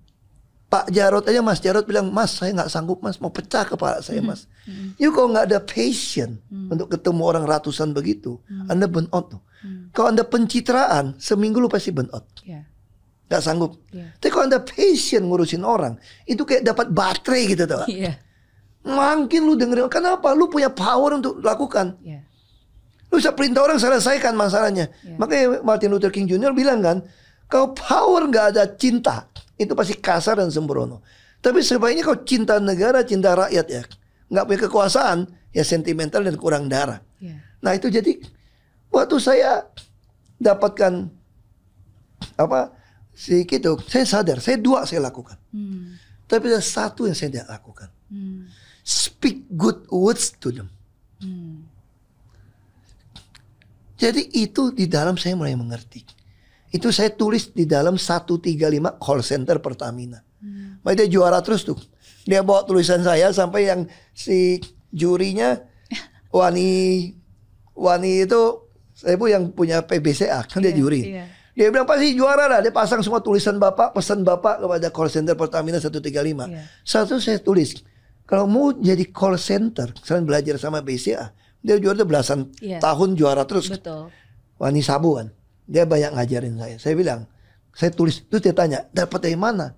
Dapat dari Alkitab. Wow. Saya tulisnya 135. Prinsipnya, you kau terima semua pengaduan orang, you mesti serve them, answer them, and speak good words to them. Itu saya tulis. Taruh di dinding. Berkata-kata baik. Call ya. center 135 Pertamina. Iya. Itu patokan kalian untuk bekerja melayani call center. Iya. Nah itu langsung si wanita saya, saya mau mau kopi nih. Saya saya dapat dari mana? Iya. Iluminasi ini dari firman Tuhan. Iya. Dan saya langsung mengkoreksi saya. Jika Tuhan berikan saya kesempatan untuk punya kekuasaan lagi. Hmm. Help the poor and the needy. Hmm. Orang tanya sama saya, lu kenapa mau dapat power? Membantu yang miskin dan membutuhkan pertolongan. Hmm. Orang kaya semua butuh pertolongan. Hmm. But the poor and the needy. Hmm. Nah, saya harus berdiri untuk itu. Nah, saya akan memperbaiki speak good words to them. Hmm. Makanya saya bersyukur di masa seperti ini. Iya. Saya belajar tulis Mandarin Iya. yang harus berapa stroke dengan sabar. Iya. Saya belajar main piano karena di finger memory. Iya. Lo nggak boleh pikir, lo mesti betul-betul ikutin. Belajar main piano sambil nyanyi. Iya. Dan yang ketiga, yang harus master memory untuk tahan, itu golf. Golf. Ini terapi pengen- pengendalian diri. Iya, that's, ya. that's itu yang saya bilang. Iya. Jadi saya bersyukur dikasih kesempatan seperti ini, ada waktu, Hmm. dan saya jadi manusia saya bilang kan, selama kita masih hidup, anda harus terus belajar. Iya. Itu kenapa papa saya kasih saya nama itu Ban Hok. Artinya? Ban itu ceban noban puluhan ribu. Oke. Hok itu sekolah belajar, bukan hoki. Oke. Jadi bapak saya itu pengen saya itu belajar, adik saya baru ban Hok baru hoki. Oke. Makanya dia hoki terus tuh. Oh, ban Kalau saya itu, hoki. ya, kalau ban Hok itu belajar terus. Oke. Kalau Hokian kan Hok gitu ya. Oke. Jadi saya kira orang harus belajar terus. Iya. Anda harus tahu apa handicap kamu, kamu harus kurangi dengan pelajaran itu. Iya. Oke. Itu sih. Pertanyaan terakhir saya untuk Pak Ahok. Eh, kalau tadi Pak Ahok memulai dengan sebuah kalimat bahwa sebenarnya saya merasa udah nggak ada gunanya lagi bersuara karena tidak berada di dalam eh, kekuasaan yang bisa mengubah. Ya. Kalau sekarang Pak Ahok punya kesempatan, which is menurut saya Pak Ahok punya kesempatan untuk berbicara dan pasti didengar oleh orang yang paling berkuasa saat ini, yaitu sahabat Pak Ahok, Pak Jokowi. Apa yang ingin Pak Ahok sampaikan kepada Pak Jokowi? Saya kira udah susah ya kalau orang mempunyai persepsi yang berbeda ya. Hmm. Ini soal persepsi. Hmm. Dulu waktu di DKI masih bisa sama. Hmm. Beliau masih sepakat dengan saya. Bukan bantuan sosial. Karena di dalam bantuan sosial itu tidak pasti ada keadilan sosial. Negara ini didirikan untuk mewujudkan keadilan sosial bagi rakyat Indonesia. Kan di dalam keadilan sosial pasti ada bantuan sosial. Hmm. Makanya kalau cuma tidak mau keadilan, misalnya contoh gini. Saya beliau usul yang paling dekat. Di DKI setuju. Beliau ngomong kok. Terus saya juga lakukan. Waktu saya di DKI, semua uang operasional itu tidak pernah dalam bentuk tunai. Hmm.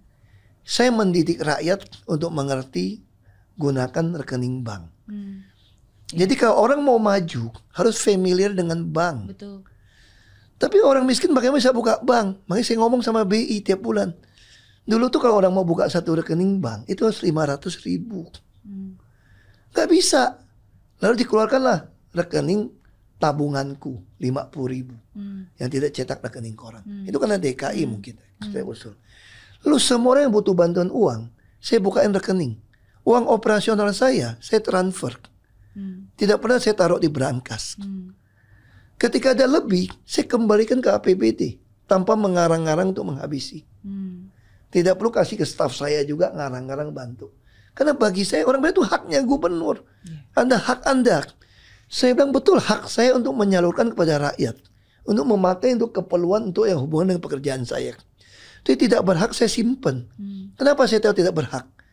Karena di dalam LHKPN saya, laporan harta kekayaan penyelenggara negara, tidak bisa dimasukkan. Hmm. Kalau memasukkan terima uang itu harus dipotong pajak. Hmm. Hmm. Saya tahu ini bukan uang pribadi saya. Hmm. Saya taruh di rekening bank. Hmm. Lalu semua orang anak-anak KJP semua pakai re- pakai rekening bank, bukan cuma kartu. Hmm. Saya nggak pernah bagi-bagiin kartu ke orang. Hmm. Orang nggak suka sama saya, mau kafirin saya, mau asing-asingin saya, Anda sebagai penduduk Jakarta karena ini APBD Pemda DKI, Anda berhak dapat Hmm. bukan karena saya. Itu keadilan. Hmm. Tapi kalau bantuan seolah-olah kamu begitu susah, saya kasih Anda. Wah, terima kasih sama saya. Tiga turunan jangan lupa sama saya. Padahal yang saya kasih ini semua adalah uang Anda APBD. Hmm. Dan lagi pula kalau saya kasih Anda paket barang. Apa yang terjadi? Mungkin di APBD saya itu 300 ribu paket beras dan daging segala macam dan tas saya kasih pada Anda. Iya. Anda coba cek di toko. Iya. Mungkin cuma 150 ribu. Iya, Mungkin cuma 100 ribu. Nggak langsung ya. Tapi kalau yang langsung bantuan, kamu merasa saya baik. Kata saya datang bawa oleh-oleh. Kata dasar semua orang kan pengen dapat sesuatu. Iya, Kalau saya lebih baik 300 ribu tadi, utuh saya kirim ke Anda. betul. Di rekening langsung. rekening Anda dan lagi pula mungkin waktu saya untuk belanja itu barang waktu saya hitung-hitung sama keuntungan orang mungkin saya hanya kirim Anda 200 ribu Hmm. dan APBD saya hemat 100 ribu Hmm. untuk kasih orang lebih banyak Hmm. nah, di situlah keadilan makanya tugas seorang pejabat bagi saya adalah mengadministrasi keadilan jadi kalau mau lebih dalam lagi apa yang dilakukan oleh seorang raja administer judgment and justice Hmm. Jadi terus apa yang akan dilakukan oleh orang-orang benar di Republik ini? Fondasi dari konstitusi tidak boleh dirobohkan. Itu ditulis di dalam kitab Mazmur, Jabur, kumpulan. The foundation of law has collapsed. What can the righteous do? That's my opinion. Ketika persepsi sudah, bisa contoh, mungkin banyak orang nggak tahu saya bilang, kenapa bisa masuk rumah sakit kelas 3 nggak bayar? Saya yang bikin itu di bupati. Kalau saya bikin kan di undang-undang BPJS waktu saya jadi anggota DPR RI. Kenapa? Waktu saya jadi bupati saya kaget. Kok orang sakit saya datengin orang sakit yang miskin ya? Kenapa nggak berani ke rumah sakit? Nggak dapat kartu askeskinnya pak? Hmm. Kok bisa nggak dapat? Tukang baginya bagi ke keluarganya dong. Ada oknum juga jual yang berobat yang pakai kalung emas, naik kijang kapsul. Oke. Sementara yang naik sepeda nggak dapat nggak bisa berobat. Iya. Tambahin nggak cukup anggaran cuma 20% dari pusat. Lalu gimana solusinya? Hmm. Terus saya mikir, oh itu panggil PT Askes. Ada perjanjian sama dia bisa cari PT Askes. Buat perjanjian, seluruh penduduk boleh berobat gratis. Wah gimana caranya? Tapi saya cuma mau bayar preminya 50%. Loh kok bisa? Kan nggak semua orang kaya mau. Gimana caranya Bapak? Dulu kan pakai survei BPS kan. Orang miskin tanah, lantai tanah, dinding, gedek, baru dapat kartu. Lalu saya bilang ini, yang saya beda di kabupaten saya, kan saya bupati toh. Itu gunakan kekuasaan untuk keadilan sosial, bukan bantuan sosial. Bukan lalu bantu orang miskin, gue bantu lu ya, dapat kartu askeskin ya. Iya. Langsung dia makasih, makasih sama saya karena saya usahakan bantu askeskin. Iya. Saya nggak mau. Iya. Lalu mau kafirin saya juga nggak apa-apa. Iya. Soal keyakinan Anda mau kafirin saya itu hak Anda. Iya. Iya. Tuh di akhirat baru kita bereskan toh. Iya, betul. Itu hak Anda. Saya nggak peduli. Ya sudah apa yang saya lakukan? Saya ciptakanlah itu. Kelas 3 yang bisa pakai. Hmm. Kenapa? Karena satu kamar 10 sampai 12 ranjang, satu kamar mandi. Orang menengah nggak mau, Hmm. Nggak mau, betul. langsung tersortir. Iya. Nah, saya baru sahkan di Undang-Undang BPJS. Iya. Nah, saya itu diangkat jadi sekretaris kaukus kesehatan DPR RI lucu kan dari teman-teman. Padahal saya komisi 2. Karena Dr. Charles dari NTT, da- dari Golkar, Komisi 9, dia bilang yang ngerti jadi bupati itu si Ahok ini. Iya. Biar dia jadi sekretaris yang ngatur. Padahal saya Komisi 2. Nah ini usulan yang sama saya usulkan soal bantuan sosial ini. Oke. Kita udah punya rekening bank. Kenapa tidak mau? Anda suruh saya ngomong toh? Iya. Iya. Mungkin didengar toh? Saya akan ngomong, pasti saya sampaikan. Saya ngomong ini. Ini sudah saya usulkan. Kenapa tidak mau semua bantuan ke rakyat itu supaya adil dikirim ke rekening yang saya bilang itu loh. Iya. Anda tinggal declare, Iya. kamu satu keluarga, suami, istri, sampai anak, sampai mantu kerja. Ada nggak penghasilan misalnya katakanlah 5 juta. Hmm. Hmm. Kalau tidak, kurang sejuta misalnya. Hmm. Hmm. Oke, tinggal dua pilihan. Anda isi satu form di dinas sosial di desa Anda Nah, sekarang tinggal upload nih. Anda buat declare keluarkan bank. Makanya saya bilang dari DKI saya latih orang gitu. Kalau Anda ekonomi lemah, Anda lah yang paling wajib punya rekening bank. Iya. Karena bantuan saya semua akan lewat bank. Iya. Nah, Anda tinggal declare penghasilan saya hanya 4 juta setengah seluruh keluarga. Iya. Saya kurang 500 ribu. Iya. Declare. Dan Anda buat satu pasal, di situ kan saya inform tau. Ya. Kalau saya bohong, maka saya menipu pemerintah, maka ini pidana. Pidana saya bisa dipenjara. Iya. Atau saya ganti 10 kali lipat. Iya. Gampang toh? Iya. Saya tinggal kirim. Iya. Lalu kok jadi penyimpangan orang mulai manfaatin orang nggak mau kerja, sengaja nggak mau kerja nih, Iya. gampang. Saya tinggal pekerjakan mereka, dia masukin training. Kita punya dana training itu banyak kok. Oke. Saya dulu di DKI itu saya mau bentuk pasukan merah tuh untuk perbaikan rumah. Iya. Anda saya kirim ke pabrik bata, pabrik genting, pabrik keramik, pabrik cat untuk belajar. Iya. Dan saya gaji Anda UMP. UMP DKI udah di atas 5 juta kok. Iya. Itu mah nggak susah. Iya. Atau udah nggak bisa hukum, nggak bisa pidanain orang. Anda jamin mau bekerja atau ganti uang. Hmm. Anda kalau begitu udah lebih, saya udah cantumkan satu rekening. Anda harus transfer kembali. Hmm. Kan yang paling penting kan mendidik rakyat untuk jujur. Betul. Sekarang dapat bungkus-bungkusan itu buat apa? Suppliernya dapat berapa? Iya. Masih ingat nggak Menteri Sosial dari PDP juga satu partai dengan saya masuk penjara. Waktu saya sampaikan sama beliau, Betul. jangan pakai gitu. Tapi perintah atasan mau begitu bagaimana dia bilang. Hmm. Nah maksud saya itu, lalu saya usul lagi. Gas LPG 3 kilo. Ini Pertamina nih, impor LPG 110 triliun. Hmm. Hmm. Ini, ini anggaran ini. Hmm. Naik terus setiap tahun, 70, 80, 90 naik terus. Ada sisa nggak kepake 10 triliun bangga, kayaknya hemat. Impor. Hmm. Apa yang terjadi? 100 dari 100% pemakai LPG di Indonesia, rumah tangga nih, 97% itu LPG 3 kilo. Loh, rumah kamu kan pasti yang 12 kilo. Iya, gede pasti. Ada oknum isi. Mesin dari Cina 45 juta pindah semua. Satu truk beda 58 juta. Semua oknum aparat disogok dengan LPG. Semua oknum anggota dewan mintanya sama Pertamina itu apa? Agen SPBE, agen LPG. Iya. Coba kalau orang biasa minta agen LPG bisa dapat nggak?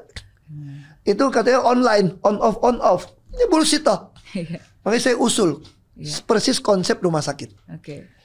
Saya dari kecil masak air itu di rumah tuh pakai listrik. Iya. kompor oven listrik. Kenapa? Orang kampung juga begitu. Iya. Karena PT Timah peninggalan Belanda ada pembangkit listrik tenaga diesel Iya. yang jalan. Hmm. Jadi bayar listrik itu per ampere. Hmm. Nah, saya usul yang sama. Hmm. Hmm. Kenapa orang yang ekonomi bawah kita tidak kasih subsidi listrik di 1300 watt? Hmm. Kalau 450 watt dia masak air jatuh.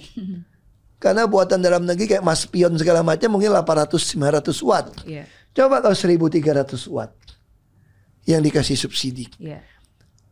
Rumah Anda cukup nggak? Satu AC jatuh. Iya. Nah di situlah cara mensortir. Betul. Ya dong? Iya. Apartemen mungkin Anda mau kasih 1300. Iya. It's okay. Iya. Tuh kita punya PRTD, kita punya tenaga panas bumi. Kita semua punya Indonesia. Iya. Emang jalan udah bakar batu bara bisa nyetop. Iya. Kenapa nggak subsidi kasih mereka? Iya. Nah makanya saya khawatir kita memang pengen rakyat itu terus terima bantuan sosial. Bukan menghilangkan bantuan sosial tau nggak? Kita pengen rakyat itu bodoh dan miskin supaya gampang dibeli. Sorry to say gitu loh. Bagi saya orang nggak mau pilih saya di DKI pun karena saya lakukan ini semua nggak apa-apa. Ada proses edukasi. Hmm. Semua manusia itu punya hati nurani. Hmm. Toh kekuasaan Tuhan yang kasih, Tuhan yang ambil. Iya. Bagi saya Tuhan tahu lebih baik. Kata mama saya, kalau kamu tidak kalah dan masuk penjara, kalau kita berpikir bahwa apa masukin saya penjara, toh orang yang mau ngambil kursi saya sudah diambil. Karena nggak mau saya bekerja sampai Oktober. Nanti saya punya pasukan merah. Bukan pasukan merah sesuai partai ya. Karena warna hijau, merah, kuning, putih semua ada. Merah belum. Tahu nggak merah itu buat apa? Untuk apa? Ini pengalaman saya jadi bupati. Orang yang ekonomi bawah atau kerja pas-pasan, nggak ada waktu, nggak ada uang nih kerja pas-pasan nih. Rumah orang tua atau rumah dia bocor, nggak ada duit untuk perbaikan. Hmm. Nah kalau pemerintah menganggarkan duit untuk perbaikan rumah itu, perbaiki rumah tuh nggak bisa dihitung loh budgetnya loh. Hmm. Pemborong juga takut ngitungnya. Hmm. Lalu pemerintah waktu saya bupati ambil solusi gampang. kirim material kepada orang yang ekonomi lemah ini untuk perbaiki rumah sendiri. Hmm. Pertanyaan saya, dia ada waktu nggak? Nggak ada. Dia punya duit nggak bayar tukang perbaiki? Nggak. Nggak ada. Lalu apa yang lakukan? Semen semua datang. Dia jual lah. Nah lalu saya dari situ saya belajar. Hmm. Kenapa kita tidak beli material-materialnya itu? Hmm. Nggak pengadaan pakai e-katalog. Hmm. E-katalog dong. Hmm. Oke. Tapi yang kerjanya siapa? Hmm. Nah di situlah saya mau rekrut tiap kelurahan pengangguran tadi pemuda-pemuda atau yang orang masih kuat Iya. dilatih jadi tukang bangunan Iya. kerjasama di pabrik keramik semen segala macam atap. Nah kalau dia perbaiki rumah orang tinggal beli material keramik miring-miring nggak pas juga orang juga nggak komplain. Iya. Tapi begitu dia jadi bagus Iya. dia akan keluar kerja sama orang. Iya. Nah ini adalah proses menggabungkan pekerjaan itu dengan pengangguran dan sekaligus bantuan sosial. Hmm. Tapi wujudnya ini adalah keadilan sosial. Hmm. Ya kan ini keadilan sosial. Makanya saya bilang kan Martin Luther King Jr. pakai kalimat saya suka banget. Hmm. Jadi bilang kan kau kekuasaan nggak ada saya ambil cinta negara cinta rakyat gitu ya. Iya. Kekuasaan tanpa cinta negara cinta rakyat pasti kasar sembrono dan korup. Iya. Tapi kalau punya cinta negara cinta rakyat, Anda tidak punya kekuasaan, Anda sentimental dan kurang darah. Iya. Makanya saya mendorong orang untuk masuk ke politik. Hmm. Tapi dengan sistem politik yang jual beli yang tanda kutip, pemilu yang tidak fair, tidak transparan, orang baru susah. Iya. Nah, itu harus diperbaiki. Iya. Yang kita tuntut. Iya. Harusnya kita demo di DPR tuh dibalik itu tuntutnya itu sama rame-rame. Tuntut perbaikan sistem pemilu, tuntut perbaikan pembuktian terbalik, tuntut pemerintah keluarkan peraturan pemerintah hasil Undang-Undang Nomor 7 Tahun 2006 ratifikasi Konvensi PBB. Di situ ada prinsip harta yang tidak ilegal. Jadi menurut saya tidak perlu ada undang-undang perampasan aset. Itu saja bikin PP selesai. Anda harapin undang perampasan aset belum tentu semua mau bikin. Ini kalau saya ngomong ya. Nah lalu apa yang itu harus kita tuntut saya bilang. Lalu soal pasukan apa yang Merah. merah tadi tau. Iya. Nah dulu saya nggak punya waktu untuk kerjakan. Iya. Karena udah keburu masuk. Iya. Tapi kalau ini bisa kita kerjakan, Anda bisa bayangin nggak Iya. masyarakat kita nah balik ke Luther King Jr. sorry kekuasaan dari kurang darah ada dua kalimat paragraf yang saya suka Iya. kekuasaan di terbaik posisi terbaik power at its best dipakai ini kekuasaan dipakai ini posisi terbaik itu apa dia harus cinta mengimplementasikan tuntutan dari keadilan sosial bukan bansos Hmm. dan justice cita-cita proklamator itu justice negara ini didirikan untuk justice Keadilan. keadilan sosial loh, bukan bantuan sosial ya. Apa tuh justice at its best? Ketika menggunakan kekuasaan mengkoreksi segala sesuatu yang berdiri menentang cinta negara, cinta rakyat. Jadi itu gak? Ini bahasa Inggris kayak power at its best, love implementing the demand of justice. And justice at its best, power is ya is power correcting everything that stand against love. Nah, kita suka cerita pahlawan, Yeah. kesatria. Yeah. Kalau kita bayangin kesatria zaman dulu ya, Iya. kalau perang nih, Yeah. apa yang dipakai? Dia harus berikat pinggangkan kebenaran, Iya. berbaju jirakan keadilan. Iya. Ya dong. Betul. Lalu apa? Berkasutkan kereraan membawa kabar baik, Iya. damai sejahtera. Iya. Nah, lalu Helmet. menggunakan perisai, Perisai, iman Iya. dan gunakan ketopong keselamatan Hmm. Dan pedang roh, yakni firman Allah yang adalah kebenaran, Hmm. bukan kebenaran baru. Hmm. Ini firman Allah toh. Hmm. Inilah kebenaran yang bukan kebenaran baru. Hmm. Nah, itu yang saya bagi saya itu hal yang harus kita kerjakan Iya. tentang keadilan sosial. Ya, kalau yang lain saya pikir ya itu sih komentar saya. Ini memang tidak tidak mudah Iya. Posisi seperti ini. Betul. Tapi inilah fakta Iya. yang harus kita lakukan. Iya. Kita bicara gas, bicara subsidi. Setuju. Terus sekarang tahu-tahu nggak, misalnya BBM. Hmm. Kenapa bisa orang bebas isi mobil baru semua isi? Kita nih semua munafik. Waktu menyusun anggaran ditentukan motor, mobil. Tapi kenapa bisa tiap tahun bisa kekurangan tiap akhir tahun yang subsidi? Iya. Karena tidak pernah dibuat satu peraturan pun dari presiden sampai bawah yang berhak terima subsidi BBM itu siapa? Nggak ada. Makanya saya bilang sama orang Pertamina, Ya. jangan suruh presiden terlalu tinggi, jangan suruh menteri. Dirut Pertamina lakukan. Kalau saya dirut saya akan lakukan. Langsung kita batasi. Kita ada My Pertamina toh. Ya. Motor oke. Kendaraan di atas lima tahun oke. Ya. Jadi jelas. Ya. Betul. Iya dong. Iya. Kalau kamu ngaku kamu miskin mau dapat subsidi, masa mobil lu keluaran terbaru? Iya. Iya. Iya dong. Iya. Yang Iya. progresif lebih dari dua mobil nggak boleh misalnya. Iya. Tapi kita bantu kekurangan duit tadi. Saya kira ya kalau kita dengan gunakan uang APBN, APBD semua diatur dengan baik. Semua rumah tangga punya kemampuan daya beli minimal 5 juta sampai 10 juta. Iya. Anda produk apa pun semua UKM kita ini Bisa. negara kan luar biasa maju. Kebeli. Betul. Kita tepat sasaran. Betul. Bukan jadi si supplier ngantongin. Setuju. Isinya tomat bukan kornet gitu loh. Iya. Iya. Nah itu yang harus diperbaiki. Iya. Thank you Pak Ahok Ya, sudah menjawab pertanyaan-pertanyaan saya. Seperti janji saya Pak Ahok bisa nanya satu pertanyaan untuk saya. Tapi saya izin minum dulu juga. Melewati banyak ujian dalam hidup yang pahit, lantas tidak membuat seorang Pak Ahok menyerah untuk terus berbuat kebaikan. Meskipun dikenal sebagai pemimpin yang tegas dan lugas, tapi tetap aja Pak Ahok adalah salah satu anak bangsa yang telah memberikan banyak kontribusi dan perubahan untuk negeri ini.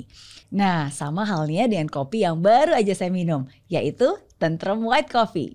Kopi ini merupakan salah satu produk karya anak bangsa loh, bahkan mampu bersaing dengan produk luar negeri. Siru muncul berinisiatif bekerja sama dengan Hotel Tentrem menghadirkan minuman kopi premium yang terbuat dari biji kopi pilihan dan berkualitas bintang 5 khas Semarang dengan aroma terbaik dan rasa yang enak. Cocok nih buat kamu yang hari-harinya butuh inspirasi dan kejernihan dalam berpikir supaya bisa jadi anak bangsa yang bermanfaat untuk negeri. Walaupun dalam perjalanannya ada rasa pahit, jalani dengan secangkir manisnya dari Tentrem White Coffee. Yuk kita lanjutin ngobrolnya. Saya kan dari dulu selalu berpikir ya. Hmm. Untuk nilai kemajuan sebuah bangsa itu. Kalau mau kompetisi sama bangsa lain. Hmm. Gimana tahu sebuah bangsa lebih unggul daripada kita? Hmm. Gampang nih lihatnya. Hmm. Lihat mata uang. Hmm. Hmm. Udah gitu aja udah. Ya. Nah kalau uang ringgit Malaysia sama satu Singapura mesti tiga setengah kali uang ringgit Malaysia, Ya. berarti ya kira-kira Malaysia ketinggalan tiga setengah kali daripada mungkin lah. Ya. Ada tiga step lah. Ya. Anda suka nggak suka itu fakta. Betul. Nah sekarang pertanyaan saya kan pernah tinggal di Singapura. Ya. Saya pengen sekali Mary, Mary cerita apa sih yang buat Singapura gitu hebat dibandingkan kita Indonesia? Hmm. Kalau orang yang rasis pasti ngomong asing lah, asing lah, Cina lah, Melayu dijajah, Singapura dijajah Cina lah, kan begitu isunya tuh. Gue tanya sama Melayu Islam di Singapura, nggak ada yang mau pindah ke Indonesia, dia happy happy, Iya. dia tinggal semua sama, Iya. nggak ada namanya perumahan apartemen khusus turunan Cina nggak ada, semua masih lebur. Ya. Turunan Cina, India, Melayu masih sama, Iya. semua punya hak yang sama. Ya. Nah, saya pengen Anda jawab. Apa yang buat Singapura maju sampai dolarnya aja Australia aja kalah, Bos. Kita nih kita udah hampir 13 ribu kali ini sebentar lagi sama Singapura. Nanti kita kalah sama Singapura. Oke. Anda suka nggak suka? Oke. Nah, apa yang buat itu? Oke. Aku pengen tahu. Oke. Ini tinggal Singapura lama soalnya. Iya, 16 tahun saya di Saya Singapura. pengen mesti share itu. Dan em, terus terang ketika pertama kali saya menginjakan kaki di Singapura tuh saya culture shock. Ah. Uh, uh, karena uh, budayanya sangat berbeda. Uh, dan yang sangat berbeda buat saya adalah em, ketaatan dan kepatuhan uh, orang-orangnya. Jadi orang-orangnya itu menurut saya selalu balik lagi SDM-nya ya. SDM dan menurut saya ketika Lee Kuan Yew itu termasuk salah satu role model saya. Menurut saya dia beliau adalah pemimpin yang sangat hebat dan tegas. Politisi yang saya kagumin di dunia ya cuma Lee Kuan Yew sebetulnya. Iya, betul, betul. Udah lama ya Chow En Lai lah. Kira-kira gitulah. Iya, iya. Dan bagaimana em, beliau tahu untuk membangun Singapura pada saat itu benar-benar nggak ada sumber daya apa pun air aja nggak ada masih dengan Malaysia gitu. Tapi dia tahu apa yang harus dibangun adalah manusianya dan eh, infrastrukturnya. gitu. Nah, jadi menurut saya yang saya rasakan di Singapura kenapa menurut saya pertama kenapa bisa sangat berkembang ya karena manusia-manusianya itu mereka um, mau untuk terus belajar dan mengupgrade diri dan taat disiplin kepada pemerintah. Uh, ya it, itu menurut maksudnya peraturannya jelas, orang-orangnya bisa mengikuti dan dari pemerintahnya pun juga dia menyediakan ruang-ruang untuk belajar. Ya. Uh, jadi contohnya ini yang terakhir Pemerintah nggak bodoh-bodohin rakyat lah ya. Pengen rakyatnya pinter gitu ya. Iya. Dan dan menurut saya sangat tepat. Mungkin ini nggak nggak terlihat dari banyak orang ya. Contohnya nih Singapura. Dia tahu dia harus mengattract. Dia membuka diri. Dibuatlah sebuah kasino. Orang-orang attract semua datang ke sana kan. Tapi dia juga buat peraturan untuk menjaga masyarakatnya. Yaitu yang Singapore citizen PR kita nggak boleh masuk ke dalam kasino harus ya. bayar gitu. Malaysia juga sama kan. Mm -hmm. ya. ya jadi hal-hal seperti itu. Um, terus bagaimana dia juga bisa memberikan subsidi kan? Jadi kalau um, um, misalnya kayak pengusaha pun juga dikasih harga makanannya murah kan? Orang makanan murah bisa makan murah lah kira-kira. Betul. Gitu. Jadi ada tempat-tempat yang memang ya. um, mahal memang untuk turis, tapi dia tetap menjaga harga-harga uh, masih tetap terjangkau untuk masyarakatnya hmm. gitu. Jadi ya bagaimana dia bisa membuka diri tapi tetap bisa menjaga isu yang seru rakyatnya. harga beras di Singapura lebih murah daripada di Indonesia katanya lagi ribut tapi itu betul loh dulu aja saya beli semangkok nasi di Singapura bisa lebih murah daripada semangkok nasi pada di gaji Jakarta. minimumnya sana lebih gede ya gaji minimumnya besar nah, gitu. artinya itu ada mismanagement hmm. mungkin setuju nggak hmm. Jadi saya kira ya mungkin saya tambahin menurut yeah. saya mungkin yeah. dikoreksi karena saya nggak pernah yeah. tinggal Singapura. Yeah. Singapura menjalankan pemerintahannya itu secara meritokrasi. Mm. Mm. Orang mau jadi pejabat tuh berdasarkan meritokrasi, yeah. bukan KKN. Yeah. Betul nggak? Yeah. Makanya yang mau jadi ganti perdana menteri ini dari tujuh tahun dari teliti.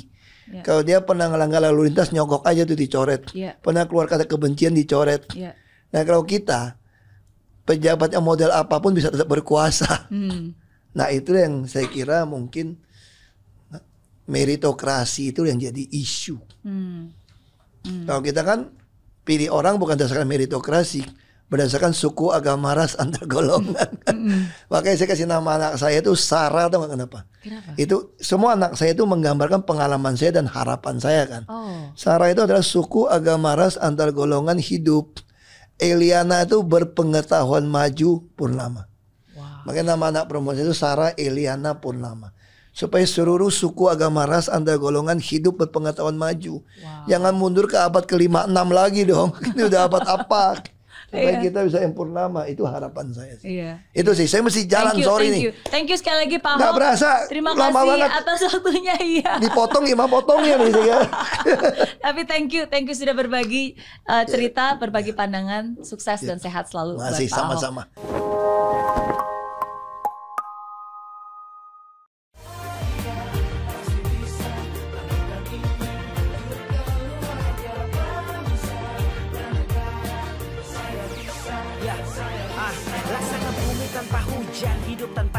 Kering dan mati tanpa hijaunya tumbuhan ah.